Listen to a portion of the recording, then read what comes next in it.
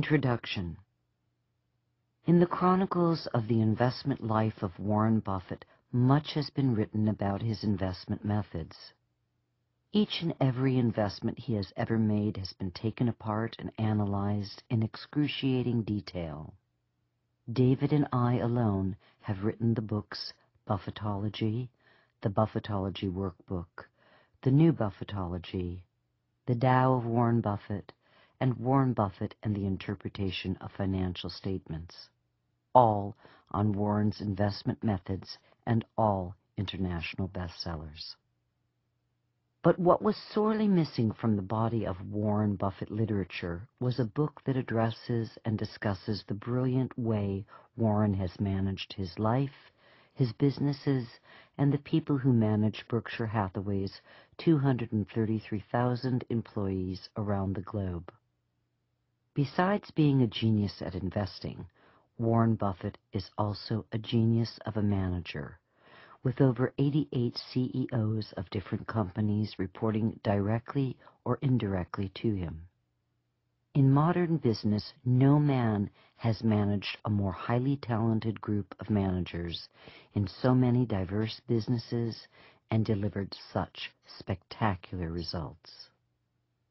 In many ways, Buffett's managerial record surpasses even his amazing investment record with Berkshire Hathaway, where the company's operational annual net income grew from $18 a share in 1979 to $4,093 a share in 2007.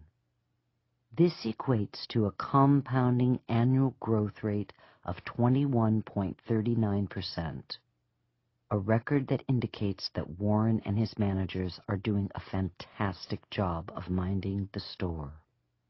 In comparison, Warren's personal investment portfolio for the same period grew at an annual compounding rate of 19.78%, which means we can argue that as a manager, Warren outperformed himself as an investor.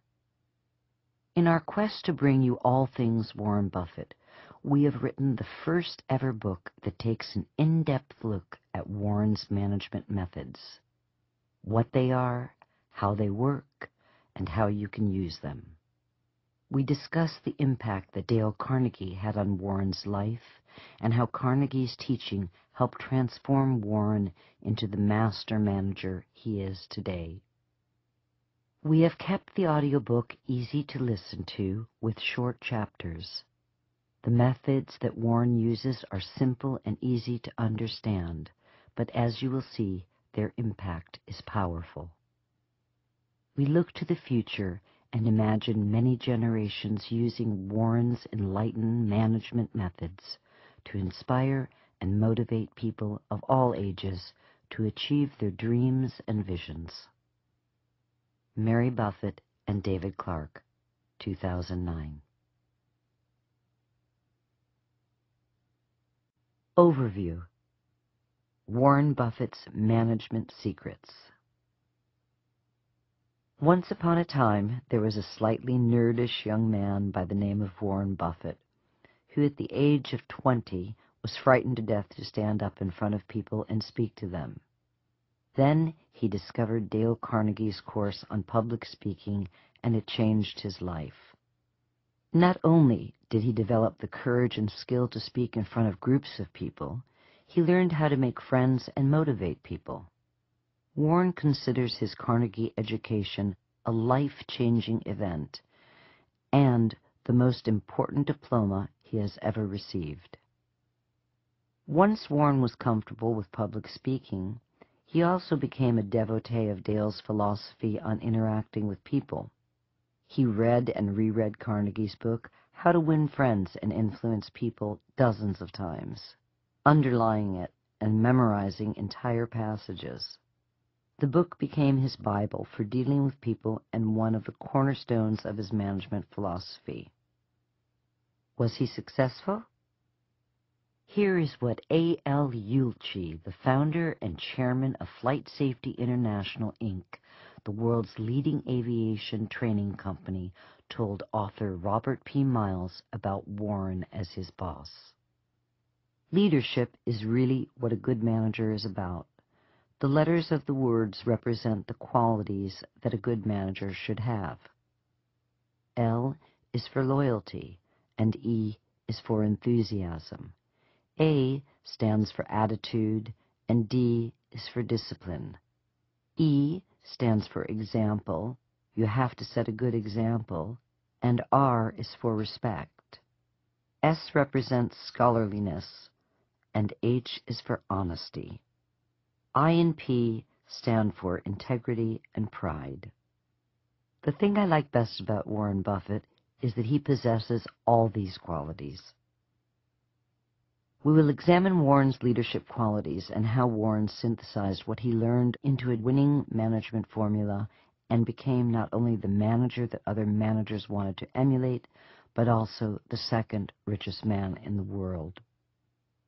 To facilitate the learning process, we've broken down Warren's management philosophy into the following five segments or steps, each working with the others to create the perfect combination of management skills. Number one, pick the right business. Warren has figured out that not all businesses are created equal. The first step to success is to own, manage, or work for the right business with the right economics working in its favor. That's how to get ahead of the game right from the start, whether you are an owner, manager, or an employee. Number two, delegate authority. The second step is Warren's unique view on delegating authority, which has allowed him to grow Berkshire Hathaway from a small, failing textile company into a giant multinational conglomerate.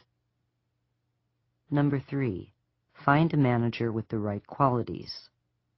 The third step is to know the qualities that are needed to manage an excellent business. Here, Warren is looking for integrity, intelligence, and a passion for the business, which also happens to be the qualities that we need to cultivate in ourselves to be successful managers. Number four, motivate your workforce. Once the excellent business is found and the right manager is put into place, Warren has the job of motivating his managers to be all that they can be so that the business, the manager, and the employees can be as productive as possible. Here we will spend time studying Warren's adaptation and expansion of Carnegie's methods.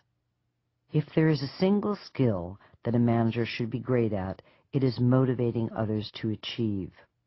Warren developed a specific set of motivational skills that have inspired his managers to hit one business home run after another and helped him build Berkshire Hathaway into the $150 billion market cap company that it is today.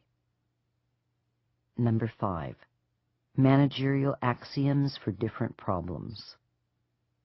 And finally, there are a number of specific Buffett managerial axioms for dealing with everything from managing leverage to handling dishonest employees to keeping costs low.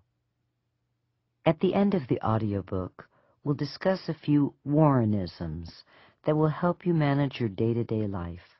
Success in business and life usually go hand in hand, and Warren has some helpful hints that will help us improve our life management skills. So without further ado, Warren Buffett's Management Secrets.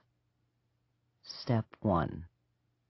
Pick the right business to work for. Working for the right business can mean the difference between a successful, high-paying career or a life of drudgery. It can also mean the difference between a successful long-term investment and one that earns nothing. Warren has discovered that certain kinds of companies have inherent business economics so great that even a bad manager will look good in working for them.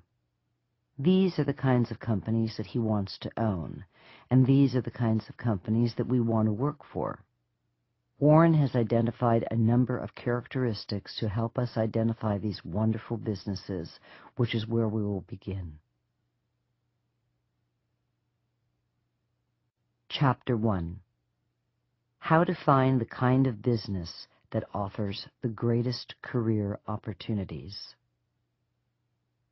There is a huge difference between the business that grows and requires lots of capital to do so and the business that grows and doesn't require capital. Warren Buffett. This is one of the keys to understanding Warren's success as a long-term investor and business manager.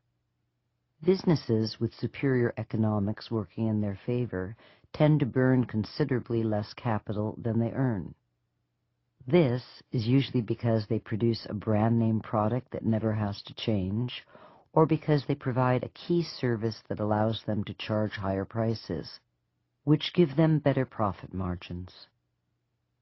With a brand name product that never has to change, a company doesn't have to spend large sums of money on research and development, nor does it have to constantly retool its plant and equipment to implement design changes. Therefore, it can use the same plant and equipment over and over again, year after year, until the equipment finally wears out. All of the money it saves can be used to expand the business without having to burden the company with additional debt or the selling of new shares. The capital needed for growth is generated internally. All of this, of course, helps make the managers of these super companies look brilliant. An example.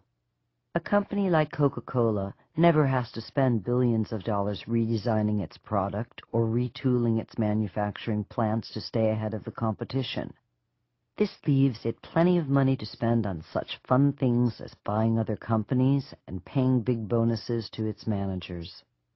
A company like General Motors, on the other hand, which produces automobiles that have to change in style almost every year, has to spend billions on new designs and retooling its plants to keep its models competitive with the Fords and the Toyotas of the world. Which one of these companies would you rather work for? The one that's internally generating tons of excess cash or the one that is internally burning tons of cash? The one with the excess cash, of course, because that excess cash makes management look good, which means they get to pay themselves generous bonuses at the end of the year. And getting paid more money is always a good thing. Companies with a durable competitive advantage. Warren believes that the best company to own, invest in, or work for, the one that offers the greatest opportunity for career advancement, job security, and the long-term making of money, is a company that has what Warren calls a durable competitive advantage. These super companies have a near lockdown on their market. What this means to us is that these companies have products and services that never really change, are easy to sell, and own a piece of the consumer's mind. This equates to higher profit margins and inventory turnover, which means these companies are often awash in cash. On the other side of the coin, there are companies with lousy economics that are very difficult businesses for us ever to look good in. They tend toward boom and bust cycles that make you a star one moment and out of a job the next. So the business that offers us the greatest employment advantage are the ones with some kind of durable competitive advantage working in their favor. Warren has figured out that these super companies come in three basic business models. They either 1. sell a unique product, 2. sell a unique service, or 3. are the low-cost buyer and seller of a product or service that the public is consistently in need of. Let's take a good look at each of these three kinds of super businesses and discover the employment opportunities that they offer. Companies that sell a unique product. This is the world of Coca-Cola, Pepsi, Wrigley, Hershey, Coors, Guinness, Kraft, American Company, Johnson & Johnson, Procter & Gamble, and Philip Morris. Through the process of customer need and experience and the promotion by advertising, these companies have established the stories of their products in our mind, and we immediately think of their products when we go to satisfy a specific need. Want to chew some gum? You might think of Wrigley. Feel like having a cold beer after a hot day on the job? You might think of Budweiser or Coors.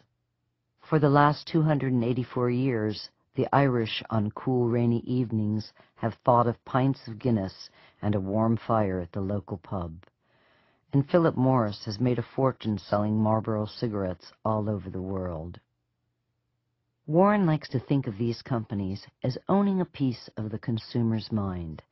And when a company owns a piece of the consumer's mind, it never has to change its products, which, as you will find out, is a good thing and it also gets to charge higher prices and sell more of its products, which means bigger profit margins and higher inventory turnover, which equates to a larger bottom line on its income statement. These companies are easy to identify because they have consistent and strong yearly earnings and little or no debt on their balance sheets. From an employment perspective, these special companies offer us the easiest opportunity to rise to managerial superstardom. They are awash in cash, which means they can pay generous salaries and huge bonuses. They also have the money to buy other businesses and create new businesses, which means there is plenty of opportunity for a young manager to excel. Believe it or not, things really do go better with a Coke including your career. Companies that sell a unique service. This is the world of Moody's, H&R Block, American Express, ServiceMaster, and Wells Fargo. Like lawyers and doctors, these companies sell services that people need and are willing to pay for. But unlike lawyers and doctors, these companies are institutional specific as opposed to people specific. When you think of getting your taxes done, you think of H&R Block. You don't think of Jack, the guy at H&R Block who does your taxes. The economics of selling a unique service can be phenomenal. A company doesn't have to spend a lot of money on redesigning its products, nor does it have to spend a fortune building a production plant and warehousing its wares and firms selling unique services that own a piece of the consumer's mind can produce even better margins than firms selling products. Being a manager in one of these businesses can be a high-paying, rewarding career with few of the financial ups and downs that plague other businesses. Just compare the operations histories of H&R Block and a company like GM. No matter how bad the recession, People still need help filing their taxes. There is never a recession in the tax filing business. But with a company like GM, the whims of the economy can be devastating in just a short amount of time. The management team of H&R Block will never stay awake at nights worrying about union demands, too much debt, or the buying whims of the public. The same cannot be said for the management team of GM. companies that are the low-cost buyer and seller. This is the world of Walmart, Costco, Nebraska Furniture Mart, Borsheim's Fine Jewelry, and the Burlington Northern Santa Fe. Here, big margins are traded for volume, with the increase in volume more than making up for the decrease in profit margins. The key here is to be the low-cost buyer which allows you to get your margins higher than your competitors and still be the low-cost seller of a product or service. Here, the reputation of being the best price in town lures in consumers. In Omaha, if you need a new stove for your home, you go to the Nebraska Furniture Mart for the best selection and the best price. Want to ship your goods across country? The Burlington Northern can give you the best deal for your money live in a small town and want the best selection with the best prices, you go to Walmart. Out of the three business models just discussed, the low-cost buyer and seller offers the fewest opportunities for career advancement. The continued stress of having to keep costs low puts great pressure on management and tends to keep salaries low. Yet these businesses still offer better employment and management opportunities than do the mediocre businesses that do not fit into one of these three categories. Now that we know the general model for the perfect business to work for, let's look at their economic picture a little more closely so that we can tell who is who and what companies are our tickets to that very rewarding career. We have selected three very simple economic tests to use to help determine if the company in question is one of those special companies with a durable competitive advantage. Chapter 2 Three quick tests for identifying the best company to work for. Number 1. Per share earnings test. One of the quickest ways to check the economics of a potential employer is to check the company's yearly per share earnings figures. This is easy to do if the company is a publicly traded entity, difficult to do if it is not. While no one yearly per share figure can be used to identify a company with a durable competitive advantage, per share earnings for a 10-year period can give us a very clear picture of whether or not the company has a long-term competitive advantage working in its favor. What Warren looks for is a per share earnings picture over a 10-year period that shows consistency and an upward trend. Something that looks like this. In 99, a per share earning of $1 and thirty cents. Two thousand, one dollar and forty-eight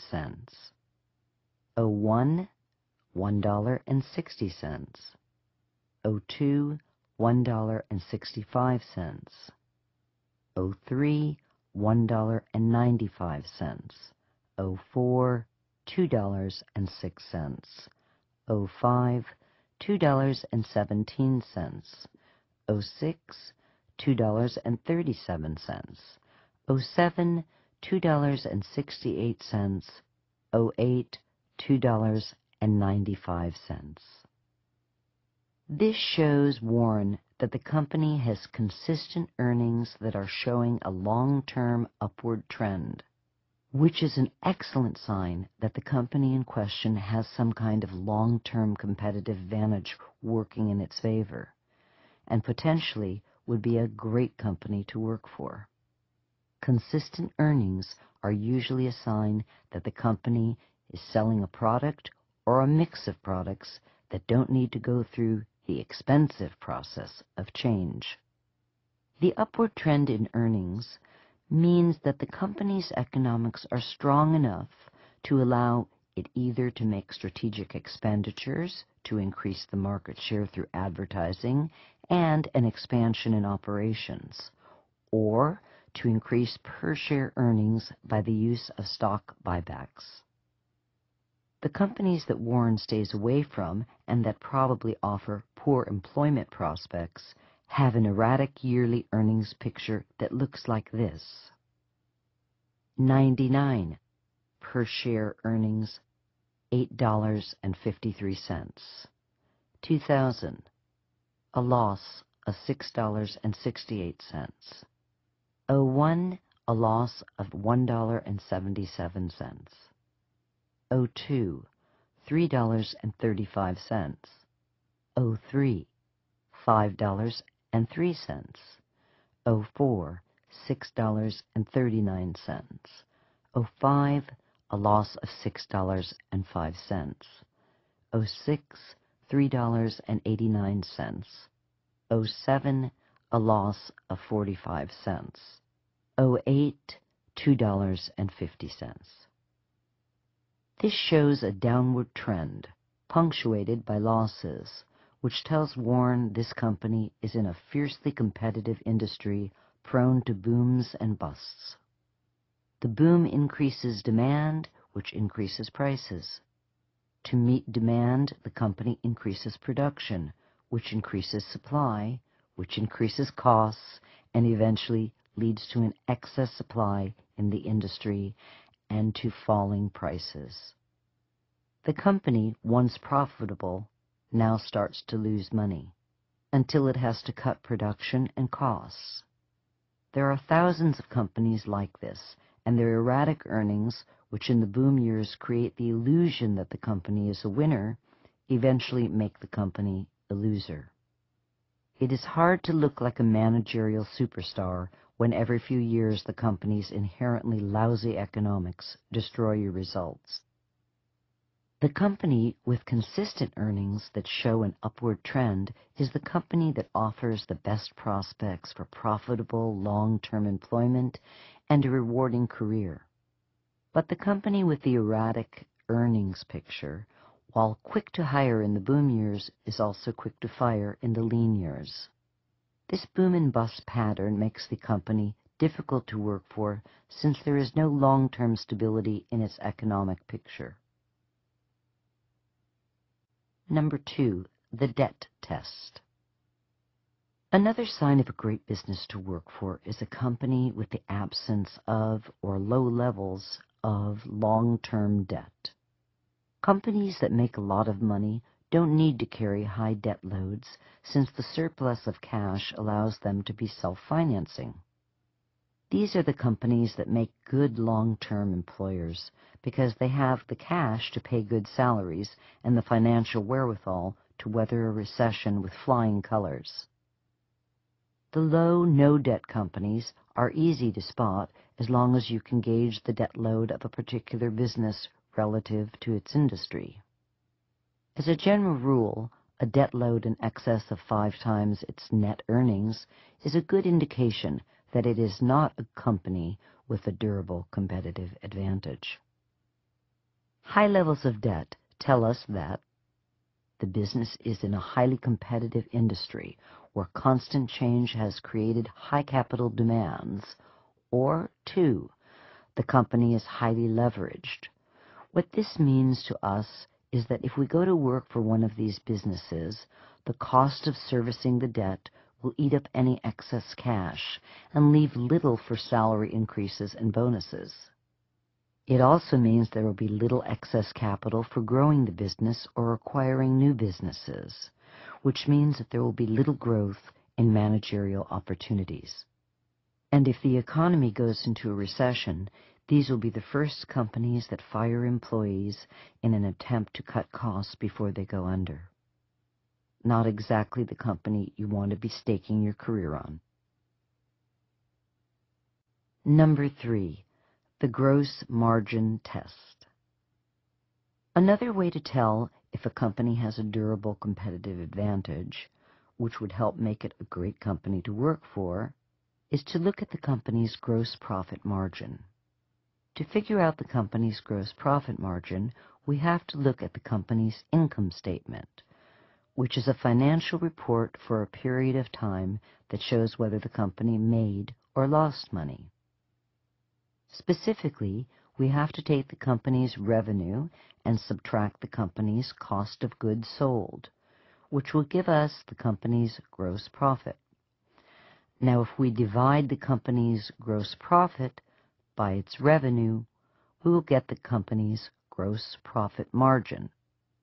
Let's take a closer look. Income statement. Revenue, 10,000. Cost of goods sold, minus 6,000. Gross profit, 4,000. Now, if we subtract from the company's total revenue the amount reported as its cost of goods sold, we get the company's reported gross profit. As an example, total revenue of 10 million less cost of goods sold of 6 million equals a gross profit of 4 million. Then, to get the gross profit margin, we take the gross profit of 4,000 divided by revenue, 10,000, equaling the gross profit margin which equals 40%. Warren is looking for companies that have some kind of durable competitive advantage, business that he can profit from over the long run, which make them fantastic companies to work for. What he has found is that companies that have excellent long-term economics working in their favor tend to have consistently higher gross profit margins than those that don't. Let us show you. Gross profit margin of companies that Warren has already identified as having a durable competitive advantage. Coca-Cola shows a consistent gross profit margin of 60% or better. The bond rating company Moody's, 73%. The Burlington Northern Railroad, 61%. And the very chewable Wrigley's Gum, 51%. Contrast these excellent businesses with several companies that we know have poor long-term economics, such as the in and out of bankruptcy United Airlines, which shows a gross profit margin of 14%, troubled automaker General Motors, which comes in at a weak 21%, the once troubled but now profitable U.S. Steel at a not-so-strong 17% and Goodyear Tire, which runs in any weather but a bad economy, stuck at a not very impressive 20%. In the tech world, a field Warren stays away from because he doesn't understand it.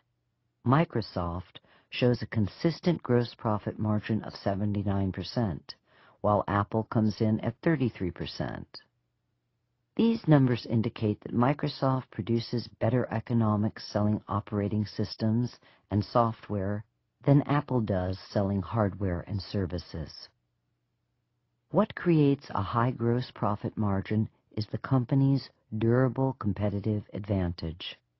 It allows companies the freedom to price the products and services well in excess of their cost of goods sold. Without a competitive advantage, the companies have to compete by lowering the price of the product or service they are selling, which of course lowers their profit margins and therefore their profitability. It also lowers their ability to raise salaries and give big bonuses, and it diminishes the company's capacity to expend capital on new businesses and to survive a recession. In summary, there are other tests that we can run to help us determine if the company in question has a durable competitive advantage, and we outline those tests in great detail in our book, Warren Buffett and the Interpretation of Financial Statements. But for the quick and dirty, the three tests described in this chapter will serve you well when we need to assess whether or not the company offering you a job is one of those great businesses that will take you down the path to a successful and very rewarding career, or if it is a mediocre business that will enslave you to a life of low wages, few opportunities, and little or no job security. While it is within the realm of possibility for a great company over time to turn into a mediocre one, this happened to the newspaper industry. It is a very rare event for a mediocre business to turn into a great one. So if you find yourself working for a company with poor inherent economics, it is better to get out now than to stick around year after year waiting for things to change.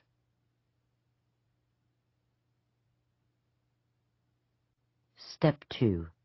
Delegate. Warren discovered that as Berkshire grew larger and larger and was involved in more and more diverse businesses, delegating authority became a necessity not only for his sanity, but to ensure that his companies were competently run and that the managers were happy running them. If there is a single management skill that is uniquely Warren, it is his willingness to delegate authority way beyond boundaries that most CEOs would be comfortable with. Let's explore Warren's philosophy on delegation and how it has allowed him to grow Berkshire from a small regional textile manufacturer into the giant multinational conglomerate that it has become today. Chapter 3 Rules for Delegating Authority We delegate almost to the point of abdication. Warren Buffett. Warren learned that to run and grow a business, one must learn the art of delegating authority. The natural inclination is to try and control every event and the people involved, to micromanage the task, the venture, the business. But micromanaging too many tasks or businesses leads to too many balls in the air at once, and if you drop one, you drop them all. Micromanaging leads to neglect. Whereas delegating to a competent manager who is focused on just one job means a more thorough understanding of the task and a more careful execution of the job. Warren owns more than 88 diverse businesses, and he has turned over the management of these companies to 88 highly competent CEO managers. Berkshire companies like Johns Manville, Benjamin Moore, Fruit of the Loom, Clayton Homes, and Jordan's Furniture are all run by CEOs who have complete control over the businesses. When Berkshire bought Forest River, Warren told its founder and CEO, Peter Liegl, not to expect to hear from him more than once a year. Warren even goes so far as to tell the CEOs of Berkshire's companies not to write up anything special for him. When McLane Company CEO Grady Rosier phoned him to request approval to buy a couple of new company jets, Warren replied, That's your decision. It's your company to run. Warren feels it would be sheer folly on his part to think he could competently manage each and every one of these businesses himself. To get the job competently done, Warren delegates, not just a task, but the entire job. As he says, he delegates almost to the point of abdication. Warren has developed a set of rules to help him delegate successfully. Rule number one Every business culture is unique. From the smallest of firms to the largest of corporations, workers and managers have developed highly specialized skill sets that allow them to accomplish their tasks. As a manager, Warren has learned that he cannot perform these highly specialized skill sets even remotely as well as they can. He feels that his employees are the experts and should be allowed to do what they are good at doing without his interference. He also feels that if he has any job as a manager, it is to inspire his employees to greatness at their jobs. Think cheerleader, not slave driver. Rule number two. Warren has discovered that competent managers like to be left alone to run their businesses as they see fit. Warren encourages his managers to continue to think of their businesses as their own. The result is they work harder and make sure that the business does well. For them, it's a matter of pride. Rule number three. Warren realizes that in order for complete delegation of authority to work, it is necessary not only that the managers be hardworking, passionate, and intelligent about their businesses, they must also have a great deal of integrity. In other words, they must be as honest as the day is long. If they are not honest, they just might end up using their hard-working, passionate, and intelligent ways to rob us blind. In summary, Warren's rules of delegation are fairly simple. Each and every business is unique. Your employees are better at doing their individual jobs than you are. If we want the business to grow, we must delegate authority. Managers like to be left alone to run their businesses. And the managers we hire need to be hardworking, intelligent, and most important, honest. Or, as the late great Berkshire manager, Mrs. B, once said regarding the secret to her success in the furniture business, sell cheap and tell the truth.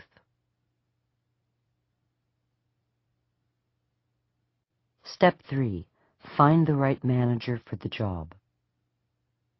Once the right business is found or acquired and the need for delegation understood, The next job is to hire the right manager. For Warren, the characteristics of the right manager just happen to be the managerial qualities that we should cultivate in ourselves. Let's take a look at just what those characteristics are. Chapter 4 Where Warren Starts His Search for the Right Manager Management changes, like marital changes, are painful, time-consuming, and chancy. Warren Buffett This is a lesson that Warren learned the hard way.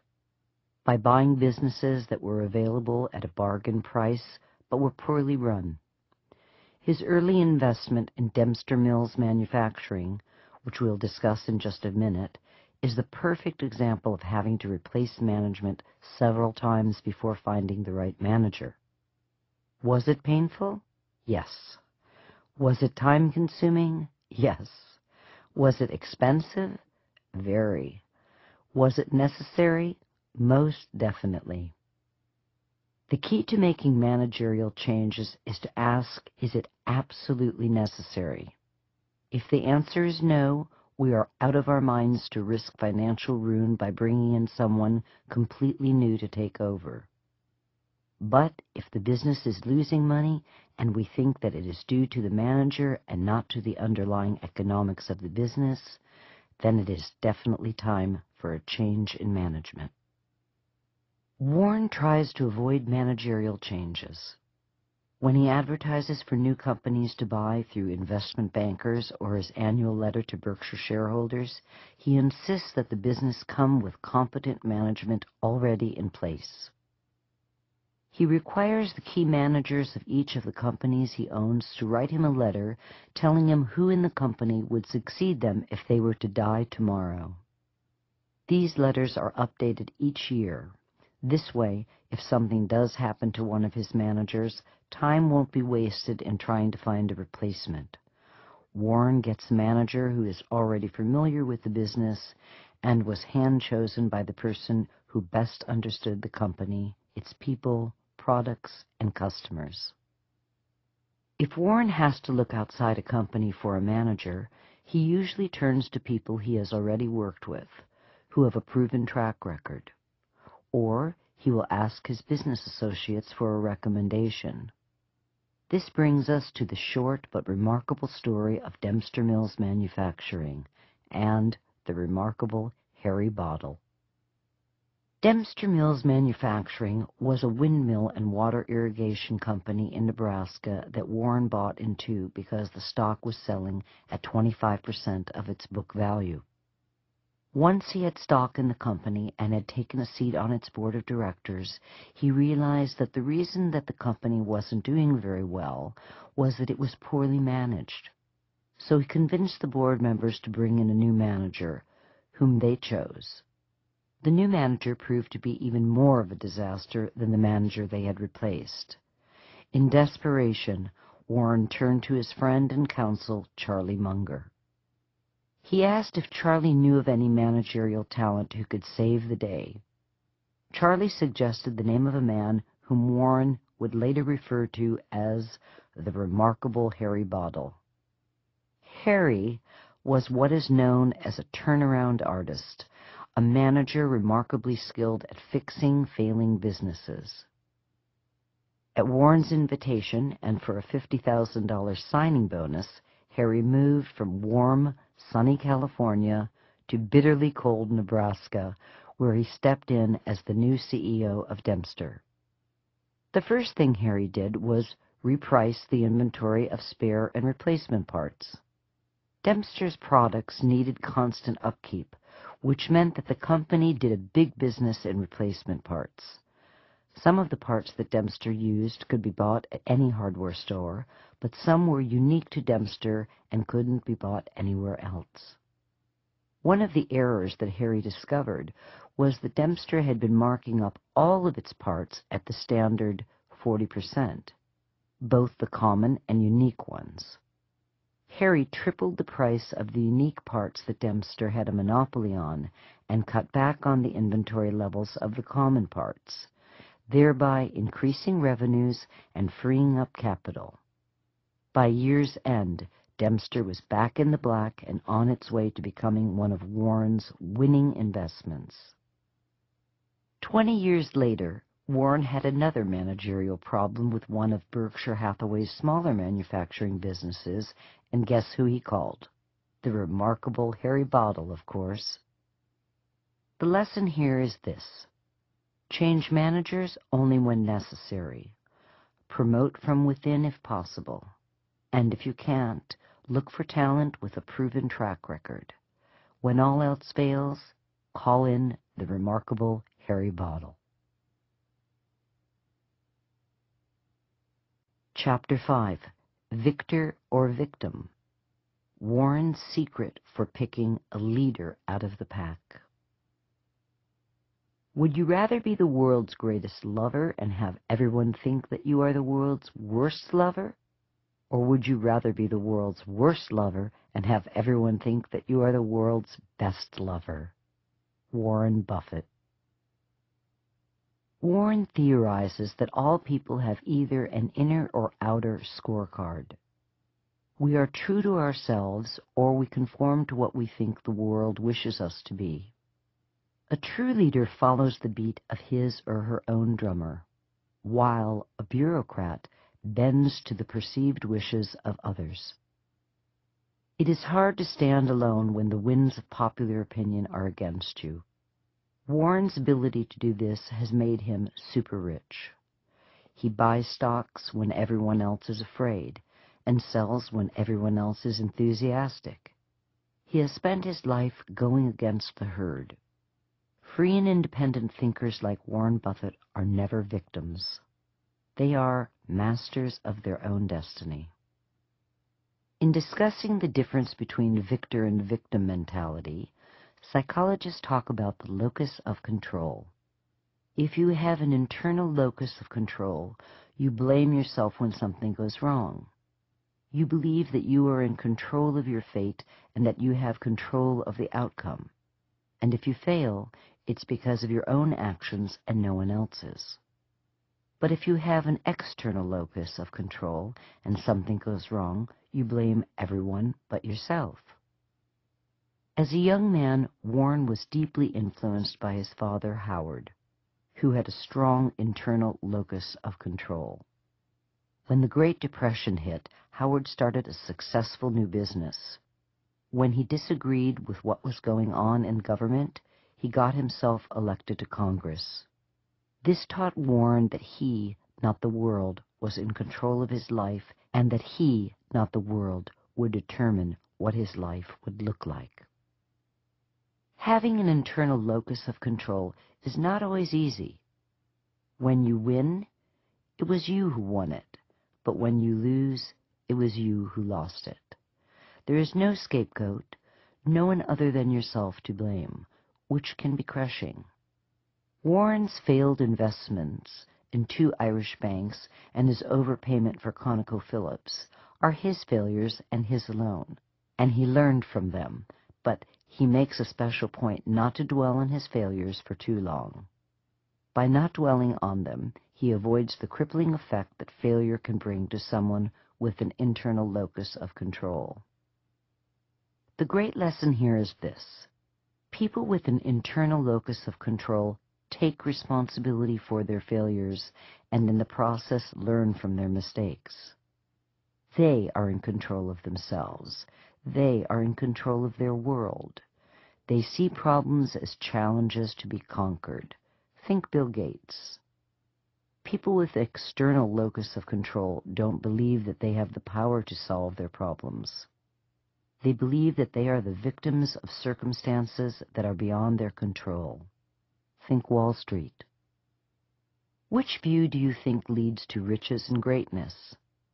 Which type of person would have the strength to lead a company or nation through hard times? Are we victor or victim? Victors make great managers and leaders because they can take responsibility and solve problems. Victims, on the other hand, are too busy inventing excuses and blaming the world to take up challenges and solve problems. Chapter 6 Work at a Job You Love. There comes a time when you ought to start doing what you want. Take a job that you love. You will jump out of bed in the morning. I think you are out of your mind if you keep taking jobs that you don't like because you think it will look good on your resume. Isn't that a little like saving up sex for your old age? Warren Buffett. In the quest for wealth, we often end up in jobs or professions that we don't like, but we stay at them day after day, year after year, until finally we have run out of time. We delude ourselves into believing that a day will come when we will finally do what we dream of doing. Meantime, we spend a life in misery, which we bring home with us each day to share with our loved ones. This type of suffering in the name of a buck usually starts early in life and is often predicated on need. However, sometimes its foundation is nothing more than greed. Warren believes that not doing what we love in the name of greed is a very poor management of our lives.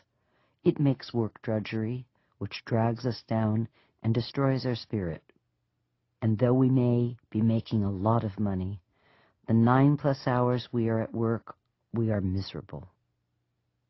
In the world of business, the people who are most successful are those who are doing what they love.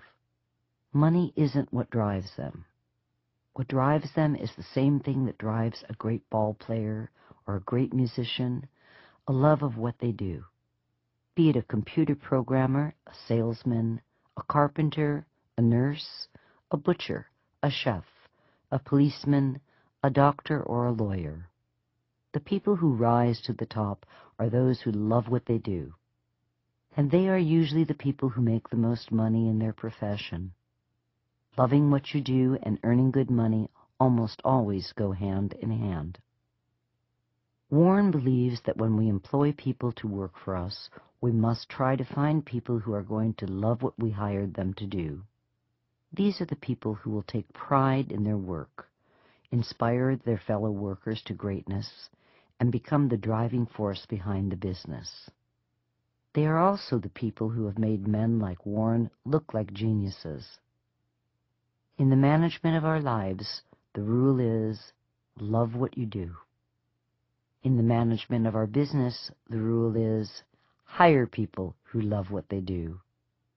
Both will lead you to the gold. Chapter 7 Put a winning sales team together. I don't want to be on the other side of the table from the customer. I was never selling anything that I didn't believe in myself or use myself. Warren Buffett. Warren learned early on that the best salespeople are those who believe in their products, who have a passion for the products that they are selling. If someone believes in and has a passion for the products he is selling, you can bet that he is very interested in everything about that product, from the material it's made of to how it's manufactured, to what are its best uses. Even more important, the salesperson will know the best uses of the product. Such knowledge impresses any customer. This is a quality that Warren is looking for in his managers. People who believe in their products and businesses so much that they love to go to work. He doesn't like hiring managers who are only interested in making money and who would rather be somewhere else. Many of Warren's top managers have spent the vast majority of their working lives at the same company and continue working for them even though they are millionaires many times over. Publisher Stan Lipsey of the Buffalo News has been with the company for over 30 years. CEO Irv Blumkin, now in his 50s, has been on the payroll of the Nebraska Furniture Mart since he was a teenager. Both of these super managers are wealthy enough to retire in the morning, but they keep showing up to work, and the reason? They love what they do. The lesson here is this. If we want to put a winning sales team together, we must find people who believe in and are passionate about the products that we are asking them to sell. A salesman's passion for the products he is selling is something that Warren has learned he can bank on. Chapter 8 Obsession Our prototype for occupational fervor is the Catholic tailor who used his small savings of many years to finance a pilgrimage to the Vatican. When he returned, his parish held a special meeting to get his first-hand account of the Pope. Tell us, said the eager faithful, just what sort of fellow is he? Our hero wasted no words. He's a 44 medium. Warren Buffett. In Warren's world, the perfect manager is someone who gets up in the morning thinking about the business and at night is dreaming about the business. As he says, Obsession is the price for perfection. Warren's obsession led him to memorize Moody's stock manual, starting at A and working his way through Z. One of his favorite all-time investors was a guy with very little education who became so obsessed with water companies that he could tell you how much money they made every time someone flushed the toilet. Guess what that guy made his millions investing in? water companies, of course. And it is obsession that Warren is looking for in his employees. He once said that if he could ask only one question of his interviewees for a job at Berkshire, it would be how obsessed they are with what they do. His archetype of the perfect manager was the famous Mrs. B, who started and managed the Nebraska Furniture Mart with her family until she reached the ripe old age of 104. There was no keeping the old girl away from the store, which was the love of her life. In the 60-plus years she ran the business, she took only one vacation and was miserable the entire time because she was away from her store. She said that when she went home at night, she couldn't wait for morning so she could get back to her customers. Her only hobby was driving around Omaha checking on the competition. All of Warren's top managers are men and women obsessed. Tony Nicely, CEO of Geico, has worked for the company since 1961 and has no idea what he'd do if he ever retired. Talking about A.L. Ueltschi, founder and chairman of Flight Safety, Warren said, Al understood what I was about. I understood what flight safety was all about and could tell that he loved the business. The first question I always ask myself about somebody in his position is, do they love the money or do they love the business? But with Al, the money is totally secondary. He loves the business, and that's what I need, because the day after I buy a company, if they only love the money, they're gone. A simple question that Warren uses to determine a manager's passion for the business is to find out about their early drive to be in business. He says that we can tell more about how successful a manager is going to be by whether or not he or she had a lemonade stand as a child than by where they went to college. An early love of being in business equates later in life to being successful in business. In Warren's world, it is not so much how smart we are as it is how obsessed we are, how much we love what we are doing. If we happen to be smart too, well, that is just icing on the obsessively delicious cake. Chapter 9 The Power of Honesty We also believe candor benefits us as managers. The CEO who misleads others in public may eventually mislead himself in private. Warren Buffett. Warren says that a manager or an employee who is truthful with others about his mistakes is more likely to learn from them. When a manager or employee ignores his mistakes or is always trying to blame someone or something else for his own blunders, then he will more likely lie to himself about other important things as well. Warren has found this to be especially true in all matters of accounting and believes that a willingness to fuddle with one set of numbers will eventually lead to a willingness to misrepresent all the numbers.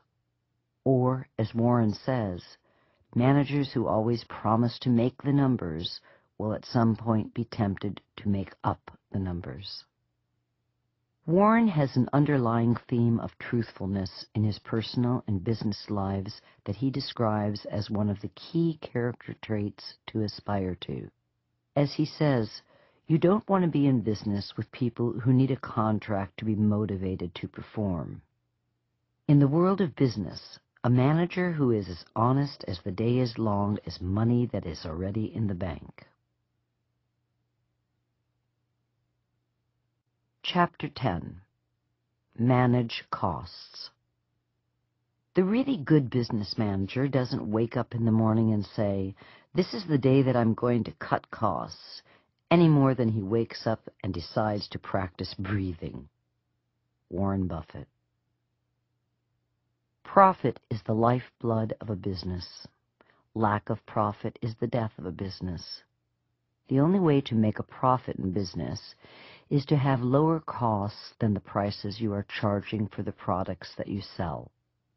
The difference between the two is called a profit margin. There is no other way to make money, no other equation.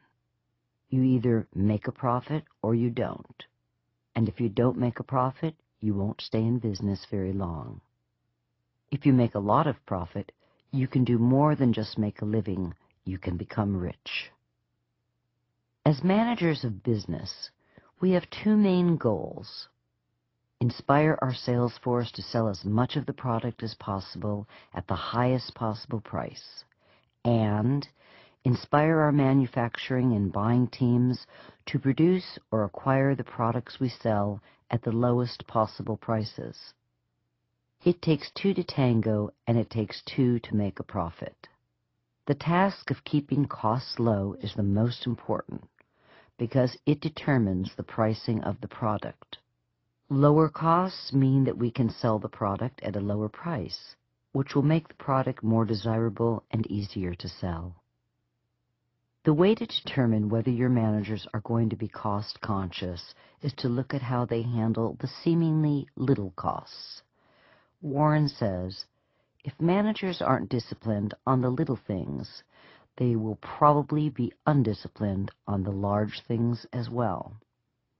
He likes to tell the story of Benjamin Rosner, the owner of Associated Cotton Shops, who was so fanatical about keeping costs low that he once counted the sheets on a roll of toilet paper to make sure that his vendor wasn't cheating him. Warren also likes to tell about Tom Murphy, CEO of Capital Cities Communications, who was so cost conscious that when he had his office building painted, he didn't paint the back wall because no one would see it. Tom considered public relations and legal departments to be frivolous expenses. He figured that if and when these services were needed, freelancers could be hired at a fraction of the cost. And when he merged Capital Cities with the ABC television network, the first thing he got rid of was ABC's private dining room. Warren loved Tom. Another aspect of the cost-cutting equation deals with personal savings.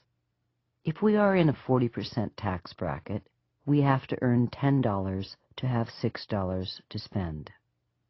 So if we reduce our living costs by $6, it is actually the same as making $10 and getting to save $6 of it, which can then be invested. As Benjamin Franklin said, if you know how to spend less than you get, you have the philosopher's stone. The philosopher's stone was a tool alchemists used to turn lead into gold. In the early part of Warren's life, he was fanatical about keeping his living costs low, which is why he drove an old VW Beetle long after he became a multimillionaire. The money he had saved driving a cheap car gave him more money to invest to make himself even richer. The bottom line here is this. When Warren looks for a manager, he wants someone who is cost conscious as a way of life, not just when the business is starting to fail. Cutting costs is the fastest and easiest way to increase the bottom line of both our businesses and our personal fortunes, which means that it is the easiest way to get rich. And easy is always a good thing when it comes to making money. Chapter 11 Have an Eye for the Long Term there's really a lot of overlap between managing and investing. Being a manager has made me a better investor, and being an investor has made me a better manager. Warren Buffett. Warren is a long-term investor. His favorite holding period for companies with exceptional economics working in their favor is forever. This long-term perspective is the fountain that produced his great wealth. But most managers of businesses tend to have a time horizon of under a year. They live in a world defined by quarterly and yearly results. If they surpass quarterly or yearly projections, they'll get fat bonuses and promotions. Fail to bring in quarterly or yearly projections, and heads start to roll. This tends to keep management focused on the short term. This short-term focus almost kills any long-term planning on the part of management. Managers are driven to make the short-term numbers at the cost of long-term planning. They often have no plans to exploit future opportunities, nor do they plan ahead for a potential recession. This is reactive management as opposed to the proactive management that Warren practices. Warren learned from investing that the long-term perspective that had served him so well personally would also serve him well in businesses.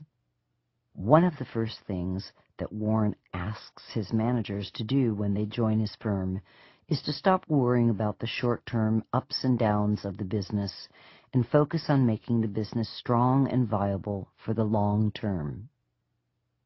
Another lesson that Warren learned is that any management's intense focus on the short term tends to make those managers poor allocators of capital, which creates two very big problems. The first is that management may keep throwing good money after a mediocre business long after it's time to put that capital to use elsewhere. The second is that when management tries to allocate capital outside its core business, it almost always ends up buying a short-sighted promise of prosperity at an inflated price. Warren often cites Coca-Cola's failed venture into the movie business as a perfect example of a great business throwing money after a bad one. When Warren bought into Berkshire Hathaway, it was a mediocre business that was spending more money than it was earning in a desperate attempt to compete with foreign textile manufacturers. After Warren acquired control, he had the insight to see that it was a dying business, so he stopped spending Berkshire's working capital on the textile business and used it to acquire an insurance company, which is a better business from a long-term perspective. How did he know that that textile business wasn't going to make it and that insurance was going to be the better business. Warren had spent a great amount of time studying a large number of businesses and knew what a great long-term business looked like. This is also how he knew that the textile company was a lousy business and that no matter how much money he threw at it, its underlying economics would never improve. Eventually, Berkshire had to close its textile operations, but by then its insurance operations were well on their way to helping Berkshire blossom into the financial powerhouse that it is today. The managers who ran Berkshire's textile operations would have spent the company's last dime trying to stay competitive with foreign manufacturers. It was lucky for Berkshire shareholders that Warren had the clarity of vision to see what the future of the textile business looked like and the foresight to invest the company's working capital in a company that had far better long-term prospects. Ultimately, Warren learned when he looks for a great manager, he is also looking for a great investor. whose responsibility is to invest the firm's money in people, products, and new businesses, always with the long-term perspective in mind. Chapter 12 How to Determine Salaries If you have a great manager, you want to pay them very well. Warren Buffett Great managers are like great football coaches. They are few and far between. How do you measure whether or not a manager is great? Not all businesses are the same. Some businesses have mediocre economics, while others have exceptional economics. Those with exceptional economics working in their favor are often the types of businesses that make even a lousy manager look good. On the other side, even an exceptional manager may not look too spectacular if he or she is managing a mediocre business. How do we tell the difference? Warren examines how well a manager is doing by measuring the manager's performance against others in his industry. For example, if we own a business that is earning 20% on shareholders' equity, we might think it is great and hand our manager a big bonus check at the end of the year. However, in truth, we may not be doing as well as other businesses in our industry. Do we pay our manager a bonus for giving us a mediocre result compared to others in our own industry? For Warren, the answer is no. Unexceptional performance with an exceptional business does not inspire him to dole out exceptional bonuses at the end of the year. The opposite is true of a business with mediocre economics. If our business is earning 5% on equity, we might correctly conclude that, compared to all other businesses, it is on the low end. But by comparing it to other businesses within our own industry, we might find that it is on the high end, which would indicate that our manager is keeping us ahead of the pack, and for that he should be handsomely rewarded. Warren is a big believer in performance-based pay, as long as it is based on the value added by the manager and not the inherent economics of the business. In Warren's world, bonuses are paid according to how much the manager truly improves the underlying economics of the business, not how much the underlying economics enhances the perceived performance of the manager. Step 4. Motivate your workforce. Warren realized early on that if he was to delegate to the point of abdication, motivating his managers to achieve exceptional levels of performance would be his primary function. Once he found the right businesses and put the right managers in place, all he had left to do was motivate his managers to be all that they can be. In this portion of the audiobook, we present the management motivational skills that Warren uses. We explain what he learned from Carnegie and others and how he adapted this into a winning management style. From first impression to using praise to understanding the dangers of using criticism, to the subtle use of suggestion. Warren is masterful in inspiring and influencing his managers. We begin by examining his use of first impression to set the stage.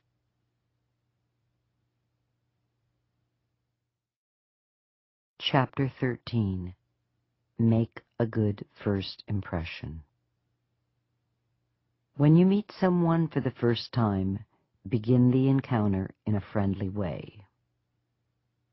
Beryl Raff was a successful Dallas jewelry executive heading up J.C. Penney's retail jewelry division. Then, in the spring of 2009, she got a call from a friend in the business asking her if she'd be interested in interviewing for the job of CEO of Berkshire's Helzberg Diamond Shops. Helzberg's is a 90-year-old chain of 240 jewelry stores and the life's work of Diamond King Barnett Helzberg before he sold out to Berkshire. Beryl had long admired Warren and his company, Berkshire Hathaway. She knew the quality of the people who worked for him, the multitude of great businesses that he owned, and his stellar reputation as an enlightened CEO. She knew that his managers sang his praises and thought the opportunity of working for such a first-rate outfit might be the chance of a lifetime. Merely talking to Warren would be a highlight of her career. What she did not expect was to see Warren picking her up at the airport himself in his gold Cadillac. As nervous as Beryl was, Warren immediately put her at ease. She found him witty and charming. After spending a couple of hours at his office answering questions about her vision for the jewelry business, Warren took her to a delightful lunch at his country club, gave her a tour of his hometown, and then offered her the job. She thought it over for a couple of days and then accepted and has been happy ever since. Beryl says that even after just a few months on the job, she already feels like an adopted member of Warren's extended family. Warren recognizes the importance of making first encounters friendly. He started his meeting with Beryl by meeting her and offering her a ride. He was light, funny, friendly, and eager to put her at ease. He took her to lunch and listened to her. Her first impression? This is a guy I would love to work for. And Warren continues to make her feel like a special member of the Berkshire Hathaway family. She has said that her greatest fear is disappointing him. Imagine if Warren had done just the opposite. What if he hadn't picked Beryl up at the airport? What if he had made her take a cab instead? Imagine he didn't even take her to lunch or listen to her. Her first impression might have been that Warren was a distant billionaire who only cared about whether or not she would make him more money, the kind of boss she wouldn't like working for. And if that had been the case, she probably wouldn't have taken the job. The rule is simple. If you want to get your way, start your encounters with other people in a friendly way. As Warren has discovered, it's the only way that pays. Chapter 14 The Power of Praise We all have a deep and honest need to be appreciated. Warren recognizes that we all have a need to feel important it's almost biological. Early American psychologist and philosopher William James once said, The deepest principle in human nature is the need to be appreciated. This is not lost on Warren. One of the great early managers whom Warren studied was Charles Schwab, the former head of the United States Steel Company. Schwab was the first superstar manager and the first CEO to be paid a million dollars a year. What made Schwab the most revered manager of his day was not his knowledge of the steel industry, which even he admitted wasn't extensive, but rather his ability to inspire enthusiasm in his employees. He did that through appreciation and encouragement. Schwab said, I consider my ability to arouse enthusiasm to be my greatest asset, and the way to develop the best that is in a person is by appreciation and encouragement. There is nothing that kills the ambitions of a person as much as criticisms from superiors. I never criticize anyone. I believe in giving people incentive to work so I am anxious to praise, but loath to find fault. If I like anything, I am hearty in my appreciation and hearty in my praise. Schwab noted that his boss, Andrew Carnegie, had even gone so far as to praise his employees publicly as well as privately. Warren follows Schwab's advice as if it were creed praising employees and managers for the small things and gushing over them for the big. He is the consummate cheerleader and his employees' biggest fan. He never misses a chance to praise his managers in private or at Berkshire's annual meetings and in its annual reports. Warren learned from Schwab that if he praised people for the little things, they'd give him even bigger things to praise them for later on down the line. For Warren, praise truly is the gift that keeps on giving. Chapter 15 The Power Reputation Give your employees a fine reputation to live up to and praise them every chance you get. Warren learned the importance of giving your employees a fine reputation to live up to from Carnegie, who stressed the point to his readers by telling the following story. A manager worked with a long-time trusted older employee who had become bored and lackadaisical about his work, resulting in a lowering of the worker's craftsmanship and productivity. The manager reviewed his options. He could fire the older employee, but then he'd have to replace him. He could threaten him with being fired, but the worker would probably resent him. Instead, he chose to talk to the employee one-on-one, friend to friend. In the course of the conversation, he told the worker he was one of his best employees, and that he was an inspiration to other employees, and that many customers in the past had complimented his craftsmanship. But as of late, he said, the employee's work had slipped. The manager said he was worried about him and was wondering if there was anything he could do to help. How did the worker respond? Realizing he had a fine reputation to live up to, he stopped doing shoddy work, increased the level of his production, and returned to being the worker that others looked up to. Warren praises his managers as being the best in the business. He notes this admiration in his annual letters to the Berkshire shareholders, mentions it at the Berkshire's annual meeting, and talks about it when interviewed by the press. He never misses an opportunity to give his managers a fine reputation to live up to, which is easy for him to do since they are the best in the business. Advice to Bono Warren's theory on giving his manager a fine reputation to live up to dovetails with the advice he gave the rock star Bono, who sought out Warren's advice on how to inspire Americans to help him in his battle against poverty in Africa. Warren told him, Don't appeal to the conscience of America. Appeal to the greatness of America, and you'll get the job done. Appealing to a person's conscience means subtly appealing to his or her sense of right or wrong. What kind of person are you if you don't want to help poor, starving people in Africa? This plays on our sense of guilt. We tend not to like people who make us feel guilty. In fact, we spend most of our time trying to avoid them. Instead, Warren advised Bono to speak to the American people's sense of greatness. Imagine how a statement like this, that plays to people's sense of guilt, would have made Bono's American listeners feel. All these poor people are starving in Africa. Are you, the richest nation on earth, just going to sit there and let them starve?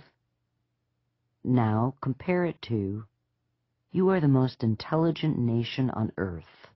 You won World War II against impossible odds, and you pierced the heavens to put a man on the moon. When I was confronted with this tremendous problem of helping the poor, suffering, lost souls in Africa, I thought, to whom should I turn? Then I had an epiphany.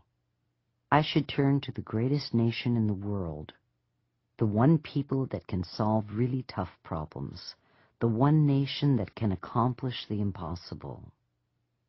Warren advised Bono to appeal to America's sense of pride, its sense of greatness, its fine reputation. Give a person or a nation a fine reputation to live up to, and they will live up to it. Make them feel guilty and ashamed, and they will disappoint you. Using guilt is not productive. Appealing to the greatness of others is what works for Warren, and it will work for you. Most important, it works for the employees and the managers you are trying to inspire. Chapter 16 The Dangers of Criticism Using criticism to motivate is futile because it puts a person on the defensive, wounds his precious pride, and hurts his sense of importance and arouses resentment.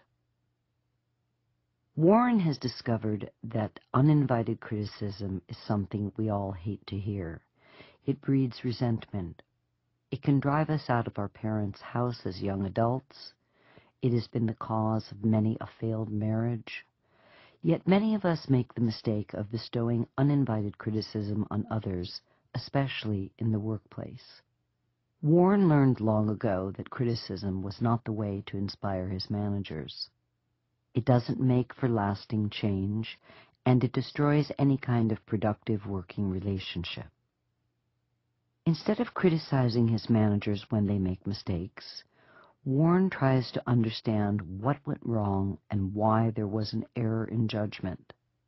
He pays attention to his managers and their work environments, and he imagines himself in their shoes. And as long as his managers are taking intelligent risks, he affords them the luxury of making the occasional mistake. Let's take a look at Warren in action. David Sokol is one of Warren's top managers. He runs Berkshire's Mid-American Energy Company. David once spent $360 million on a zinc project that failed and had to be written off as a loss. David fully expected Warren to fire him for his colossal error in judgment. Instead of firing him or berating him with criticism, Warren, hearing the bad news, simply told David, We all make mistakes. Warren went on to say that he had made even bigger mistakes during his tenure at the helm of Berkshire Hathaway and told David to learn from his error but not to dwell on it. David thinks the world of Warren and has never made a similar mistake.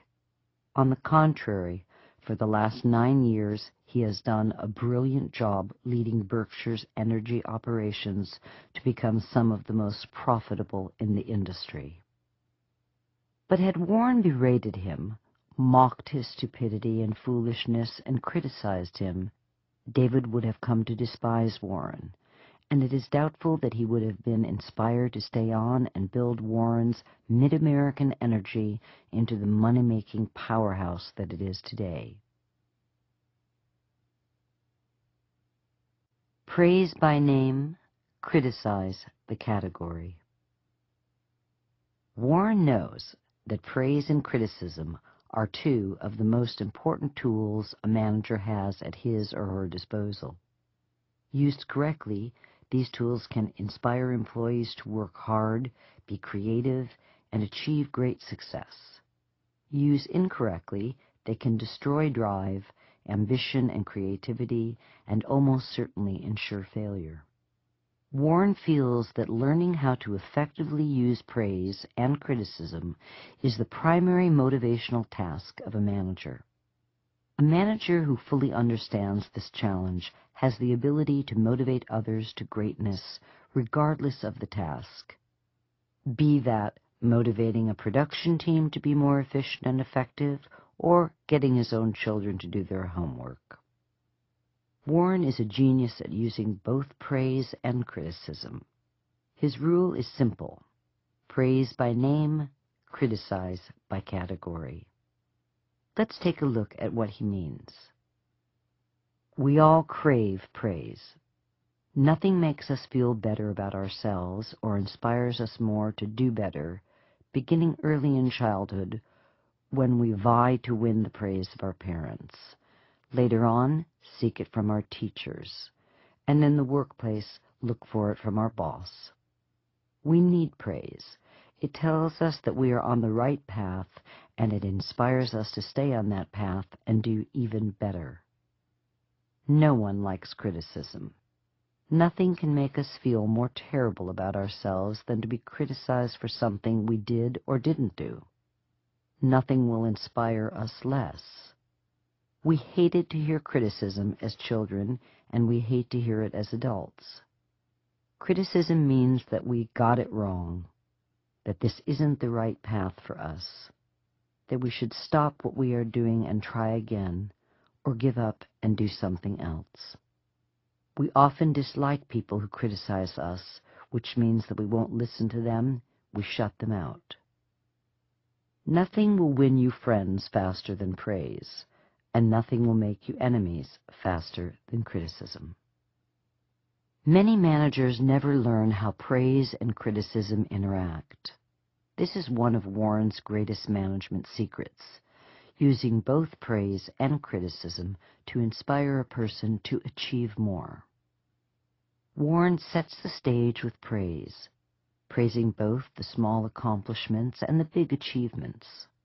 He never misses an opportunity to praise his managers, and he is a master at remembering names and praising people by name. Why? Because nothing is sweeter to another person than the sound of his or her own name. Read an annual report written by Warren Buffett, and you will see that it is loaded with praise for his managers, who are singled out by name. He is generous in spreading praise around. Warren elevates his managers to a lofty position and makes them feel special by continuing to praise them in person and in print. Work becomes more than just a place to make a buck. It becomes a place to boost self-esteem.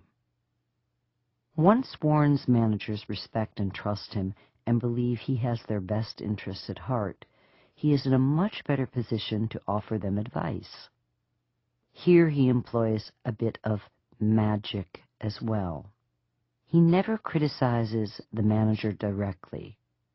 When a manager with whom Warren has built a solid relationship asks his opinion of a business idea and Warren is not keen on it, he'll make a subtle suggestion leaving the manager to draw his or her own conclusion. A classic Warren response would be to acknowledge the manager's idea, to say that it is enticing, and then to offer a story where Warren or another businessman had a similar idea that led to disaster, thereby leaving the manager to draw his own conclusion. Warren applies the same theory when talking about the world at large. He is quick to praise an individual banker for his or her integrity, but if he is unhappy with the banker, he will only criticize the banking profession as a whole. The banker saves face, and Warren gets his point across without making an enemy. As Warren says, praise the person, criticize the category. If you must criticize people personally, praise them first. Although Warren realizes that personal criticism is poisonous, he is also a realist. He recognizes that in some cases, criticism is unavoidable. When personal criticism is necessary, he follows the advice of Carnegie, who suggested that one should compliment the person first. Criticism by itself is almost always flat out rejected. However, when criticism is preceded by praise, the listener is more accepting of the suggestion. Someone bestowing a compliment is perceived as a friend, someone we like. The people we like are those whose opinions matter to us. A compliment creates the trust that is necessary for constructive criticism to be heard and acted upon.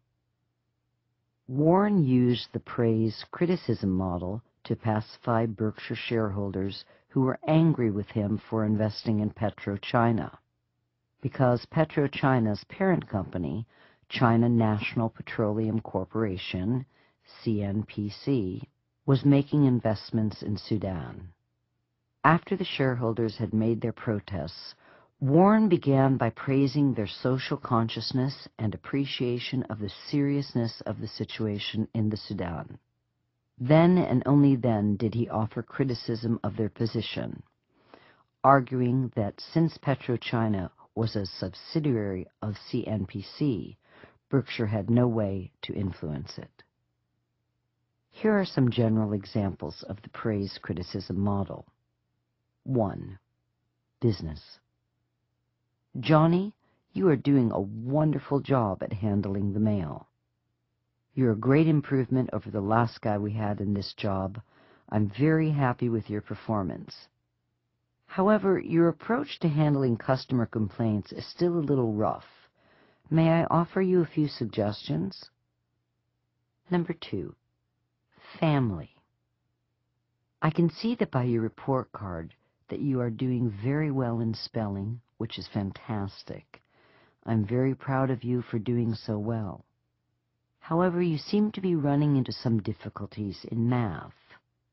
I had that problem when I was your age, and I was wondering if you might be open to me lending a hand in getting you over this rough spot. The rule here is pretty straightforward. Avoid using criticism as it were the plague, but when you have to, praise the person first and then criticize the category. If that doesn't work, Praise the person first before you criticize him directly. This approach works for Warren, and it will work for anyone who is willing to open the door first with sweet praises. Chapter 17 How to Win an Argument To win an argument, you sometimes have to lose. Warren learned early on that the way to win an argument was not to have one in the first place. That to openly correct someone might cause them to lose face, and in the process the person could end up resenting him. Warren learned from Carnegie that instead of taking issue with someone, it was better to agree with them so that you could win the person's trust and in the process get the person to listen to your ideas. Warren fully embraces this philosophy, and he is famous for avoiding conflict and arguments. Warren is also well known for listening to people and for respecting their opinions, even when they are contrary to his own. But it is his ability to agree with the other person's argument that allows others to relax and to hear Warren's position. And Warren knows that getting the other person to listen to you is the first step to winning any argument. An example.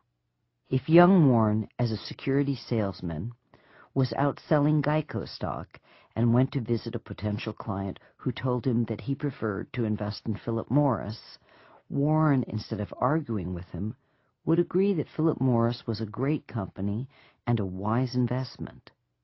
This would put an immediate end to potential conflict and allow Warren to then engage the client in a discussion about the wonderful virtues of Geico.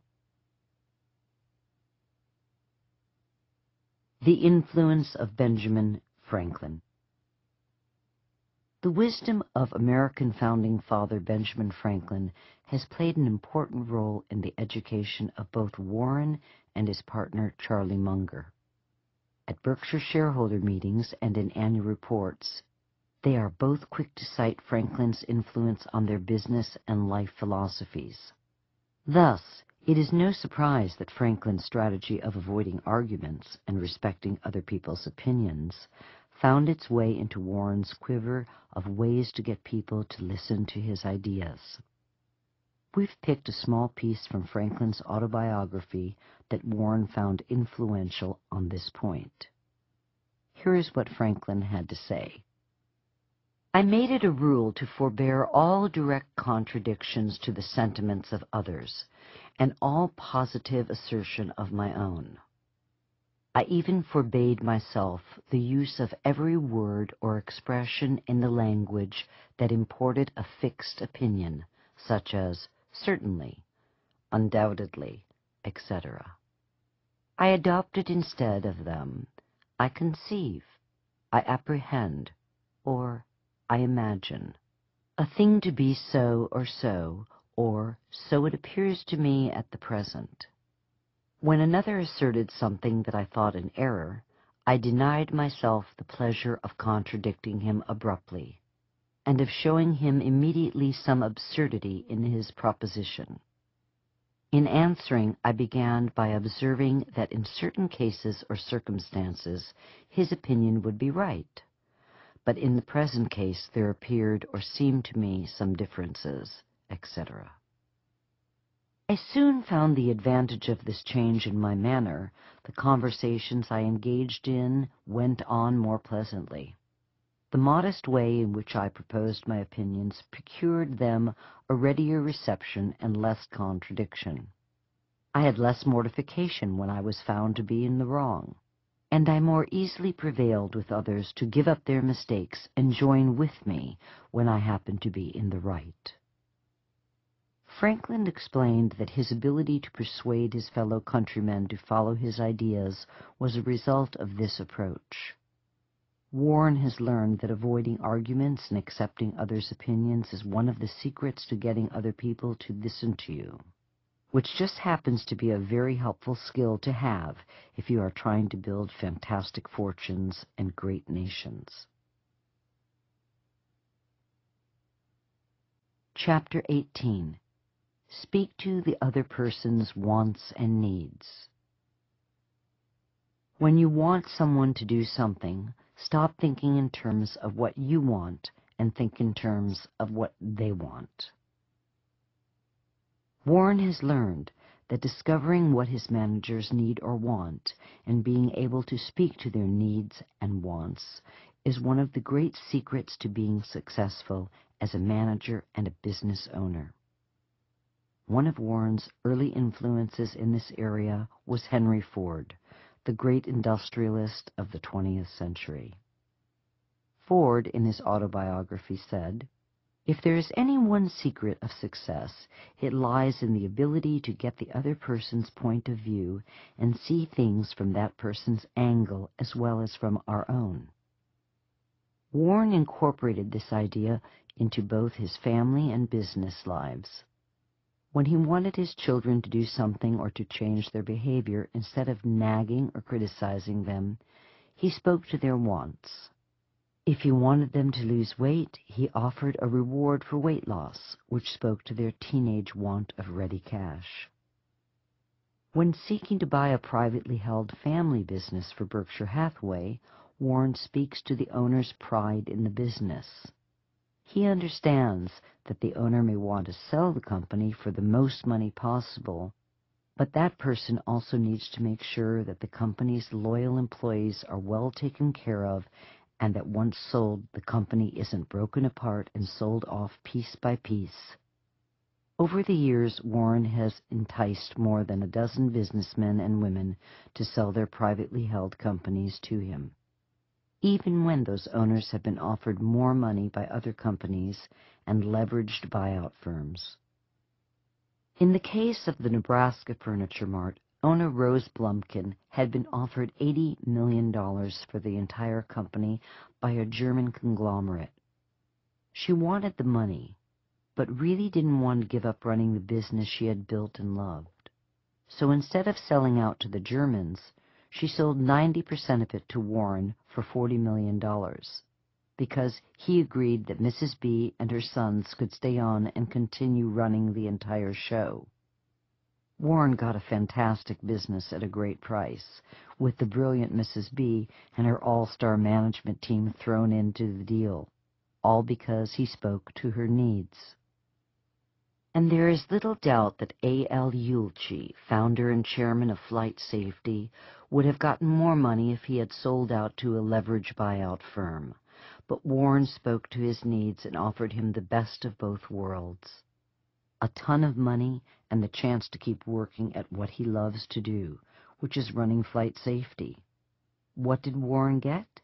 He got a terrific business run by a genius of a man at a price that still keeps him smiling. Does it get any better than that? Chapter 19 Encourage Others to Come Up with the Right Idea. Inducing the other person to come up with the right idea is far more powerful as a motivational tool than telling them the right idea. Warren is famous for hiring people and then not telling them what to do. Instead, he lets them set their own goals and standards. Invariably, they set the bar higher than he would have. Warren's managers would say that even though he never tells them what he expects from them, they know that he expects a great deal. His silence induces his managers to imagine that he expects a lot, and this becomes the reality that drives their performance. Tell someone to do something, and it becomes an order. No one likes to be ordered about. We naturally resist anyone who gives us orders. However, if it is our idea, we treat it as gospel and act on it with purpose and conviction. We are in control.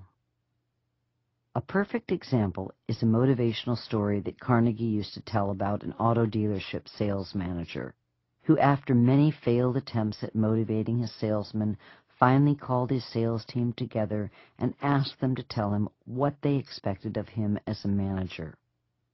As he listened to their answers, he wrote them out on a blackboard.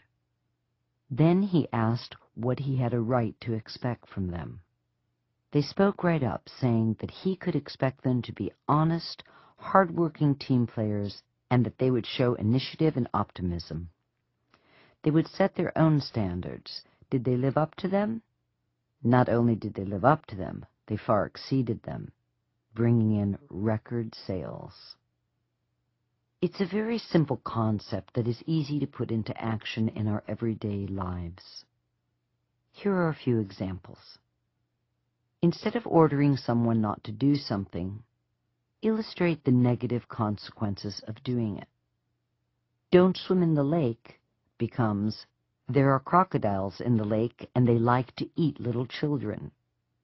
The child is then induced to thinking of crocodiles eating him, which compels him not to swim in the lake. Instead of ordering someone to do something, illustrate the positive consequences of doing it. I want sales production to increase becomes, if sales production increases, it will make me happy and I'll be able to pay bigger bonuses at Christmas. The workers realize that an increase in sales will make for a happy manager and bigger Christmas bonuses. If you're wondering how to better manage your children, try using the same method. Sit your children down at the beginning of the school year and ask them what they expect out of you in the coming year. List their expectations, discussing them as you go. When you are finished and are comfortable with their expectations, agree to them. Then ask what you can expect out of them. You might just be shocked at how demanding they can be of themselves. Ask questions instead of giving direct orders. As we just said, Warren is famous among his managers for never giving a direct order. He is also well known for asking tons of questions. Warren recognizes that no one likes to get a direct order, just as no one likes to be told what to do. Bossy managers are usually hated and are the least likely to inspire workers to excel. A direct order might work in the military, but in civilian life it can cause lingering bitterness that drags on performance. Warren learned that great managers give their orders indirectly by a way of making suggestions. One way to make a suggestion is simply by asking questions. Asking questions makes your suggestion more palatable and often stimulates employees to come up with their own ideas for solving the problem. We are more willing to act on our own ideas than to act on others' ideas, especially when we are being ordered around. It is always better to let people figure something out for themselves. If that's not possible, then give them a little nudge in the right direction with a suggestion framed as a question. Here are a few examples of how to use a question to convert a direct order, which will offend employees, into a suggestion which will stimulate them to willingly act. Direct order. I want that job done by Monday. Suggestion. It would be great if we could get that job done by Monday. Do you think you can come up with a way to do that? Direct order. Slow down. You're driving too fast. Suggestion. You know the roads are rather slick. Do you think that if we slowed down that that would make it safer? Direct order. This is not the way to do it. Suggestion. Can you think of a better way to do that? Direct order. I want you to do it this way. Suggestion. Do you think that if we did it this way that it would turn out better? Direct order.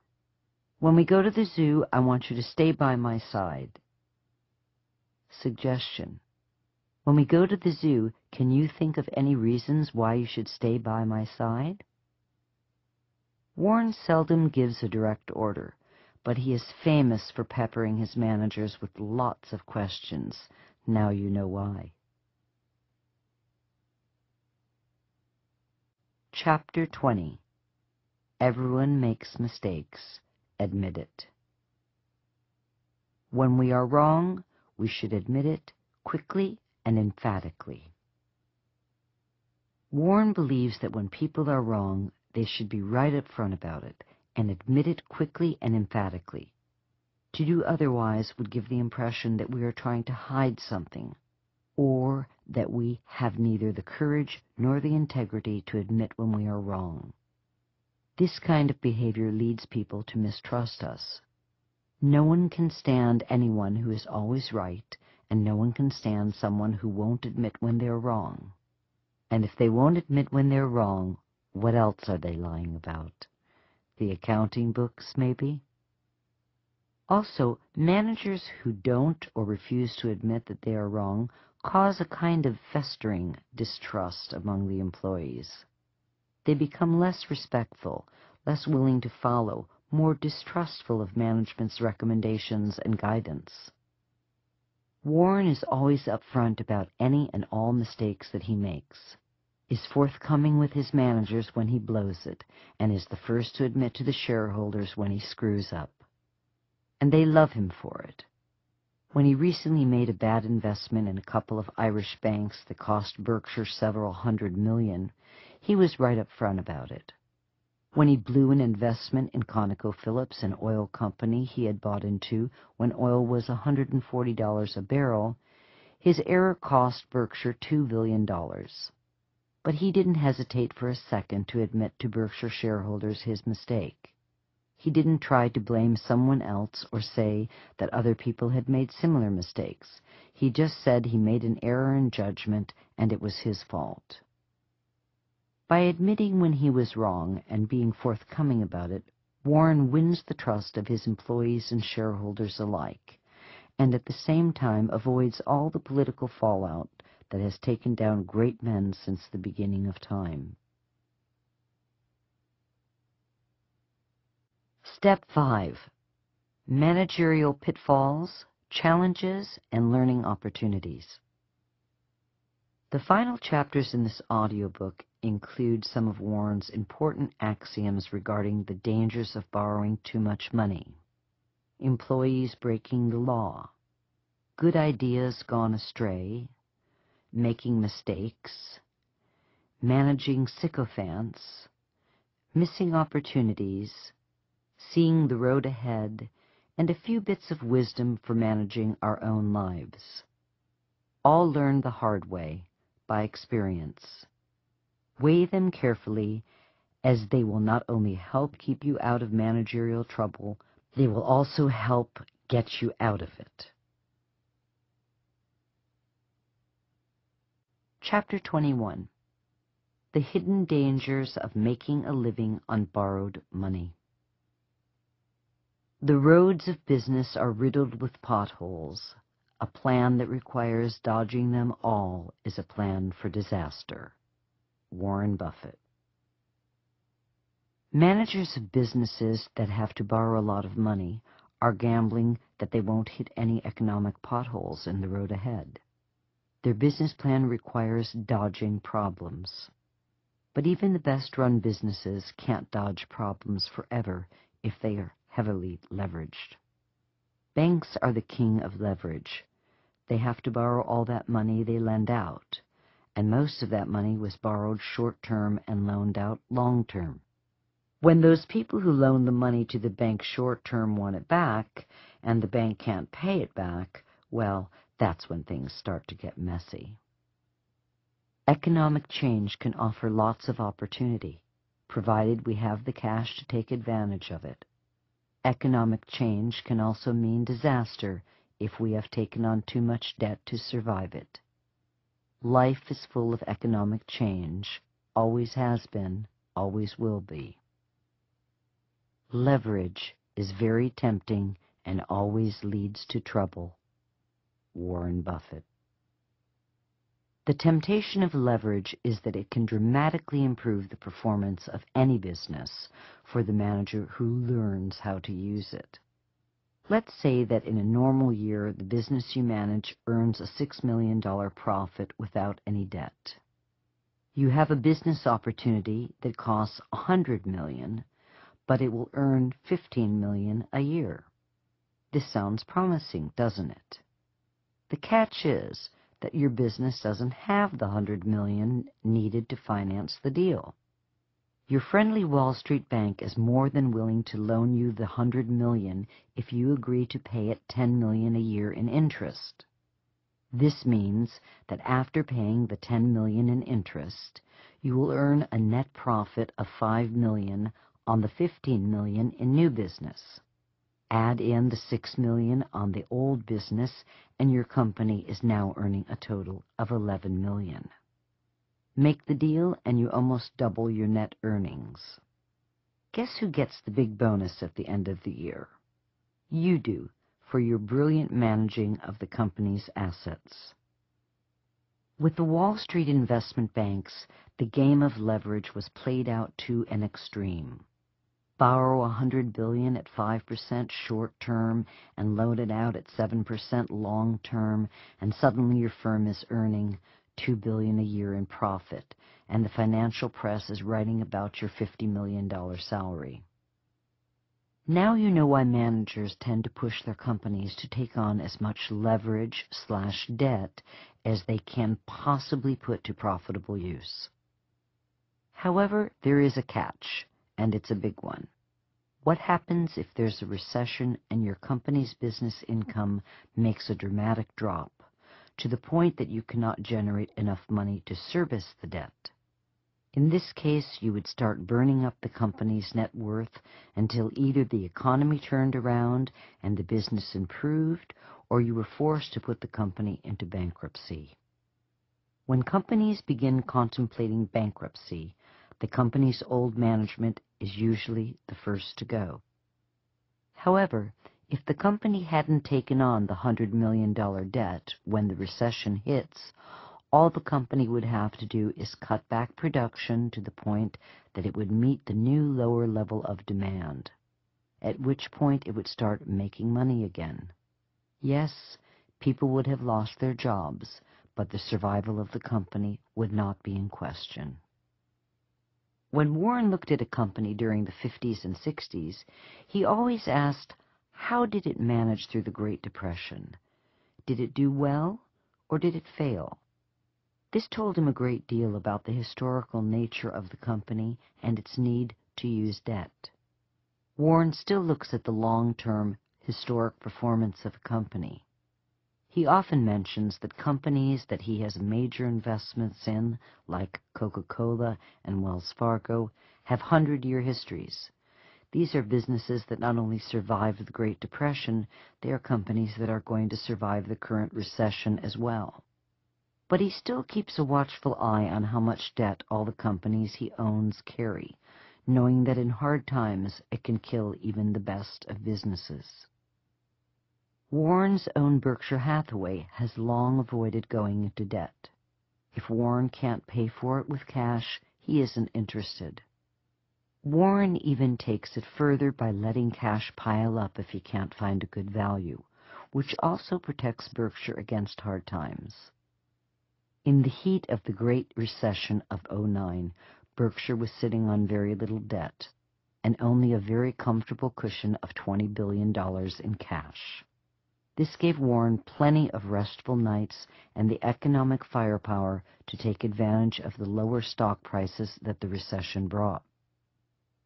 Old school managers like Warren are very reluctant to use debt to improve earnings. They lived through the hard times and have the scars to prove it. But in the last 15 years, the quick buck meant fast promotions and big bonuses, so the new generation piled on the debt, and in the Great Recession of '09, many found themselves dangling over the abyss of financial failure and the sudden end of their briefly successful careers. Sometimes old dogs know all the tricks. Chapter 22 Do Good Ideas Always Bear Fruit? You can get into way more trouble with a good idea than a bad one. Warren Buffett. This is Warren quoting his late mentor Benjamin Graham, who taught Warren to take heed of the potential danger of a good idea. Managers never act on ideas they know are bad. These are killed at the start. But a good idea is acted upon, and if it is successful, it becomes an institution. Subprime mortgages were originally a good idea. They allowed good people with marginal credit to buy homes and mortgage brokers to make money. But eventually people with poor credit histories were qualifying for subprime mortgages.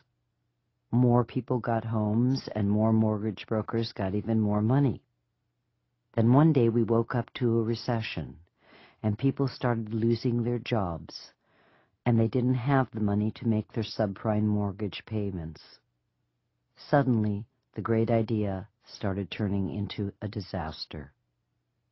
The same thing occurred with the insurance giant AIG, which sold insurance to banks and other institutions to cover the risk of default on a large number of investment-grade corporate bonds.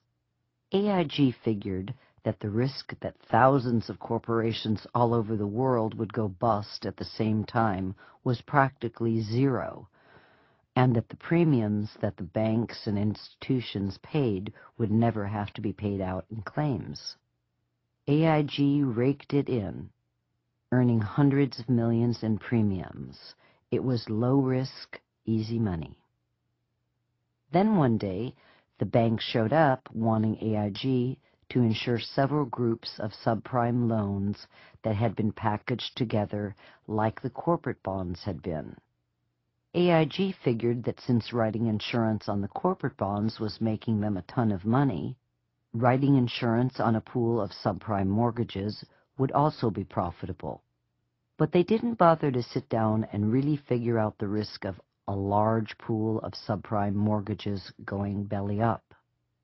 And then the recession hit, and hundreds of thousands of subprime mortgages started going into default. And prices on the subprime bonds that AIG had insured started falling.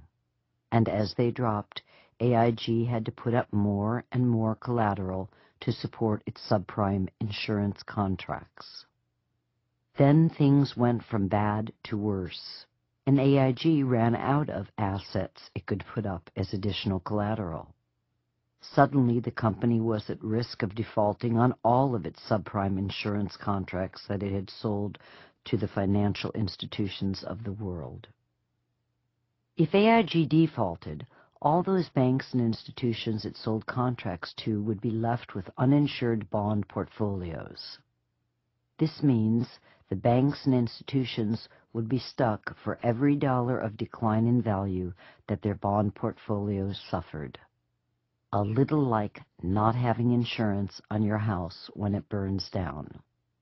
The prospect of AIG failing to post more collateral essentially threatened to render a great many of the world's financial institutions insolvent, which would have meant a complete collapse of the world economy, which is why the U.S. Treasury stepped in with an $85 billion loan to AIG. because the entire game was on the table. In the end, a really great idea, insuring investment-grade corporate debt, got AIG into insuring pools of subprime mortgages, which turned out to be a really, really bad idea for AIG and the rest of the world. As Warren says, you can get into a lot more trouble with a good idea than a bad one. Chapter 23 How to Handle Employees Who Break the Law There is plenty of money to be made in the center of the court. There is no need to play around the edges. Warren Buffett This is the advice that Warren gave the managers of his companies after the fallout of Salomon Brothers' bond trading scandal. Salomon Brothers was a Wall Street investment bank famous for its bond trading prowess. In the late 1980s, Warren invested $700 million in the company's preferred stock. In 1991, two Salomon bond traders broke the U.S. Treasury's bidding rules for buying Treasury bonds. They were caught submitting false bids to the U.S. Treasury in an attempt to take a larger share of the new issue of Treasury bonds than the U.S. Treasury permitted. Salomon's management, upon discovering the illegal acts of its traders, was not forthcoming to the Securities and Exchange Commission or to the U.S. Treasury. This led Treasury to consider barring Salomon from trading in treasuries, which would have been a certain death blow to the company and to Warren's investment. At the request of Salomon's board of directors, Warren stepped in as chairman of the board and immediately cleaned house at Salomon, removing its CEO and top managers who had been involved in supervising the traders who made the false bids. He also instigated an upfront policy with the U.S. Treasury, giving the investigators free access to Salomon's records. In the end, Salomon had to pay a hefty $290 million fine, but it got to keep trading in treasuries, which meant that it got to stay in business. Warren conveyed this lesson to his managers. While it is important to be aggressive in making money, you can make the money you need by staying within the boundaries of the law. When managers break the law in the name of making a quick buck, they risk losing their entire business with one single action. In Salomon's case, the bond trader bet the entire company for a slightly larger piece of the U.S. government bond market. As managers, we have to keep a watchful eye on our employees to make sure that they don't bet the store in an attempt to further their careers. And when we catch employees doing something illegal, the first call we make is to the authorities. Not to make the call is to become an accessory after the fact, which is also a crime. It's a hard lesson that no one wants to learn firsthand.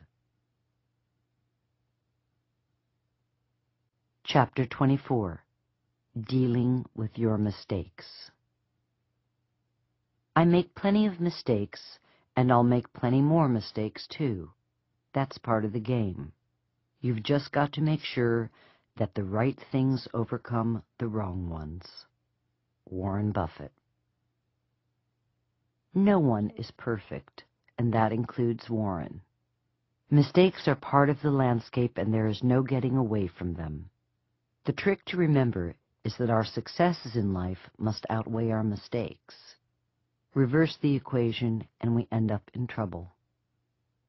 Warren's mistakes include paying too much for a business, ConocoPhillips and the then-named U.S. Air, buying into a sinking business, Blue Chip Stamps, and not buying into the right business at the right time. He initially thumbed his nose at Capital Cities Broadcasting. He also made some serious mistakes in the handling of his managers. He hired himself to run his insurance operations, which proved to be a bad idea. And to run Dempster Mills, the first manager he hired was a loser, the second one a winner. Yet he still ended up the richest man in the world. The way in which Warren deals with his mistakes sets him apart from the competition. He learns from mistakes, but he doesn't dwell on them.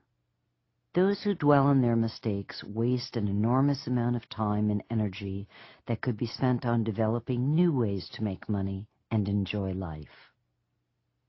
Mistakes are part of the past, and short of remembering their lessons, Warren says that they should stay there, since all the money to be made is somewhere in the future. Chapter 25 Sycophants. Are they an asset or a liability? Of one thing be certain. If a CEO is enthused about a particularly foolish acquisition, both his internal staff and his outside advisors will come up with whatever projections are needed to justify his stance. Only in fairy tales are emperors told that they are naked. Warren Buffett. Leaders love to be loved, and in the process of needing to be loved, they surround themselves with yes people.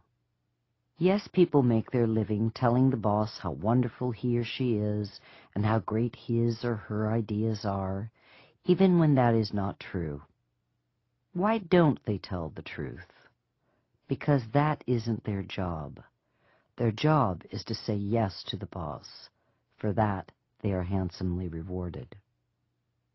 Every business has sycophants creeping around the corners, sucking up to the boss and reinventing the truth.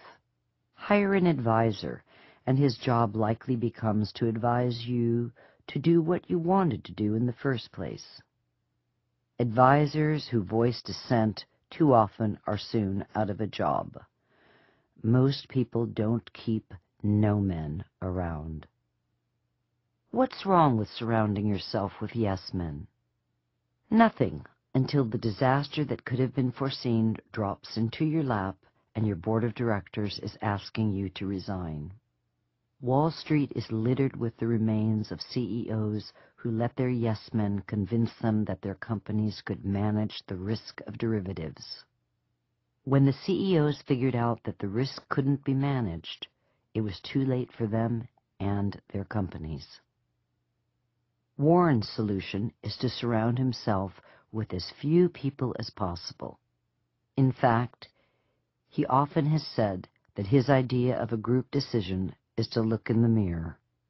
He also seeks the counsel of Berkshire's vice chairman, Charlie Munger, who says no ten times as often as he says yes. Warren thinks of Charlie as his no man, and while Charlie's no may never make him the life of the party, it has kept Warren from stepping into disaster on more than one occasion. Chapter 26 Learn from Missed Opportunities Since mistakes of omission don't appear in financial statements, most people don't pay attention to them. We rub our noses in mistakes of omission. Warren Buffett even the best manager misses opportunities, and this often goes completely unnoticed. In the world of investing and in managing Berkshire, Warren freely admits he missed more opportunities than he should have. For example, he laments not getting in early on Walmart and Walgreens. When Warren does miss an opportunity, he likes to spend a little time contemplating why it didn't cross his radar screen or why he saw it but didn't act. He does this with the hope that this reevaluation of the situation will enlighten him enough that he won't repeat the same mistake in the future. In Warren's world, there are two basic kinds of missed opportunities. One, ones we missed because they weren't on our horizon, and two, ones we saw but failed to act on. These are the most frustrating because they were looking us right in the face. If the opportunity simply wasn't on our horizon, the solution is to expand our field of search. There is a whole world of business brokers and investment bankers that are more than happy to show us potential opportunities. As for the opportunities that we can see but don't act on, the most common reason for missing one is that we erred in calculating the risk involved. These are opportunities we would have liked to have acted on, but mistakenly deemed as too risky. Mistakes of omission due to miscalculation of risk are the easiest to understand. We took in all the information we had available and made a judgment call based on that information. If we don't have the right knowledge, we can't competently make the judgment call. This is why Warren lets the managers of his individual companies make even the biggest decisions regarding the companies they run. He trusts that they know their game better than he does. But mistakes of omission that occur because we didn't have our eyes open to opportunity are errors that speak to our management ability and our organizational skills. A good manager is always looking for opportunity and has put the necessary infrastructure in place to assist him. The best managers follow Warren's example. They examine the opportunities they missed, and they ask the hard questions as to why they missed them. Then, the next time around, they just might catch the brass ring instead of watching it slip through their fingers. Chapter 27 Bank on the Tried and True You don't have to think of everything. It was Isaac Newton who said, I've seen a little more of the world because I stood on the shoulders of giants. There is nothing wrong with standing on other people's shoulders. Warren Buffett. One of the great errors of young managers is that they think they have to have an original idea or some stroke of creative genius to catapult them to the top. These brilliant ideas, more often than not, lead to costly folly. Warren has discovered that the best ideas in business and life are the ones that are tried and true, where the chance of failure is almost nil. Where do these proven ideas come from? They come from other people and businesses that have successfully put them to work. By studying successful businesses, we can get dozens of great ideas about how to do something right and by studying unsuccessful businesses, we can learn how easy it is to do something wrong. Miles Davis, the great jazz musician, once remarked, Lesser artists borrow, great artists steal. The same can be said of great business managers. If we see a great idea, we should steal it and immediately put it to use. Where do we find these wonderful ideas? by studying the competition to see what they are doing right and what they did that was wrong. Rose Blumkin, who founded the Nebraska Furniture Mart in the 1930s, brought with her from Russia the simplest merchandising concept of discounting prices in the name of increasing volume, which she implemented at her store. The local established merchants refused to discount, and Rose took away tons of their business. So much, in fact, that they sued her for unfair trade practices. Her defense was simple. The other merchants charged too much. The judge ruled in Rose's favor, and the next day he and his wife went down to her store and bought carpeting for their home. Rose didn't invent discounting. She borrowed an idea that merchants were using in Russia and used it to make money in her new home in America. Jack Ringwalt owned and operated a small insurance company called National Indemnity in Warren's hometown of Omaha. Jack ran his company with a keen eye on costs and was fanatical about underwriting discipline. He would only write insurance if he knew it would make him money. If rates dropped, he simply stopped writing policies even if it meant having his staff sit around doing nothing, which he could afford to do because he had built up a surplus of capital during the good times. He once told Warren, There is no such thing as a bad risk. There are only bad rates. Jack made himself rich running his business this way, and when Warren bought National Indemnity, he not only kept Jack's philosophy of disciplined underwriting in place, he put it into practice in every insurance company he has invested in since. Disciplined underwriting has allowed Berkshire to grow from being a small insurance company in Omaha to one of the largest insurance operations in the world. You don't have to stand on top of Mount Everest to know that it's high, and you don't have to be a genius to identify a great manager or a well-run business. But once you do, pay attention and start learning from the pros. It works for Warren, and it will work for you. Chapter 28 Move Up in Life It's better to hang out with people who are better than you. Pick out associates whose behavior is better than yours, and you'll drift in that direction. Warren Buffett According to Warren, in the management of our personal lives, we are who we hang out with. Hanging out with a low life will drag us down, while hanging out with a smart, educated person will draw us up. Warren spent most of his time as a teenager at the racetrack, where he learned to calculate odds. Instead of falling into a life of gambling, however, he was able to put his knowledge of calculating probability to use in college and graduate school. He found mentors who were considerably older and wiser than he, who took an interest in him and steered him into the world of finance and investing. He moved up.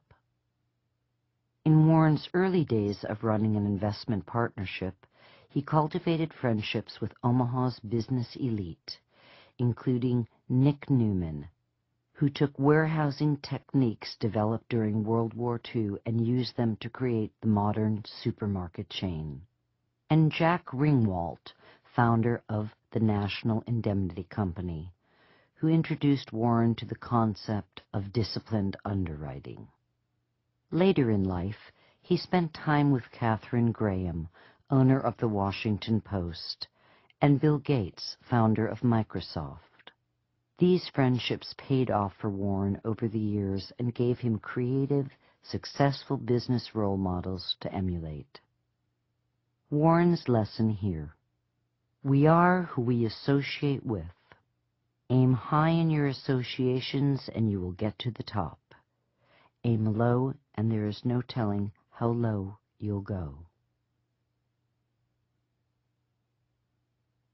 Chapter 29 manage you for inflation. The best asset during inflation is your own earning power. Anything you do to improve your own talents and make yourself more valuable will get paid off in terms of appropriate real purchasing power. If you do something well, whether you're a Major League Baseball player or you're a good assistant, whatever it may be, you are your best asset. Warren Buffett. Warren says you should think of yourself as a business.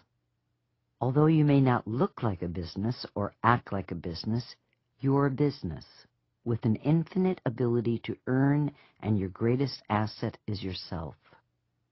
When you're young and inexperienced, your business doesn't make much money, but the more education and experience you acquire, the more your earning potential increases.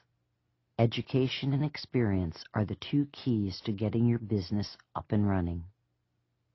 Whether you are an accountant or a rock star, everyone starts at the bottom and works their way up. Yes, Daddy may have opened a door or two, but the reality is that to get to the top and stay at the top, you must have the energy and drive to excel at your chosen craft or profession. Warren believes that you should take good care of your business, which means taking good care of your health and getting a good education. You should find ways to improve your earning potential and protect it from disaster. When it comes to staying ahead of inflation, nothing beats your potential to earn. The more special your business is, the freer you are to raise prices. People in unique professions have always had the upper hand as an inflation hedge because the lack of competition allows them to charge more for their services. The rule here is simple. Each of us is an economic entity with great earning potential. And if we take care of ourselves and get an education, our economic potential is infinite and will not only keep up with inflation, it can even make us rich. Chapter 30 Managing Personal Borrowing You can't borrow money at 18 or 20 percent and come out ahead. I can't. I'd go broke. So stay away from debt as much as possible. When you get an amount for a reasonable down payment, you find a home you like, buy it. But don't do it until you can handle it, and take on obligations you can handle avoid the others. Warren Buffett. The world of retailing has gone from selling you a product to selling you the money to buy a product. The modern merchant makes money loaning consumers the money to make purchases. It used to be that merchants made their money on the markup of merchandise, but in the age of volume discounting and stiff competition, those margins have slowly eroded. But imagine if you could make money not only on the sale of goods, but also by loaning the customer the money to make the purchases. You get to cash in twice, when the consumer borrows the money and when he spends it. When businesses learned that they could loan us money at 18 to 20 percent, they figured out very quickly that they could make more money by loaning money than they could by selling goods. Credit card companies figured this out years ago. They finance the purchase of even the smallest items. And if you don't get your bill paid off in total or on time, they charge you outrageous interest. This is not just a good business. This is a great business, and the merchants have followed. Modern furniture, appliance, and computer stores are now banks in disguise. They would much rather finance your purchase of a new TV or refrigerator than allow you to pay in cash. In order to facilitate this money-making scheme, the modern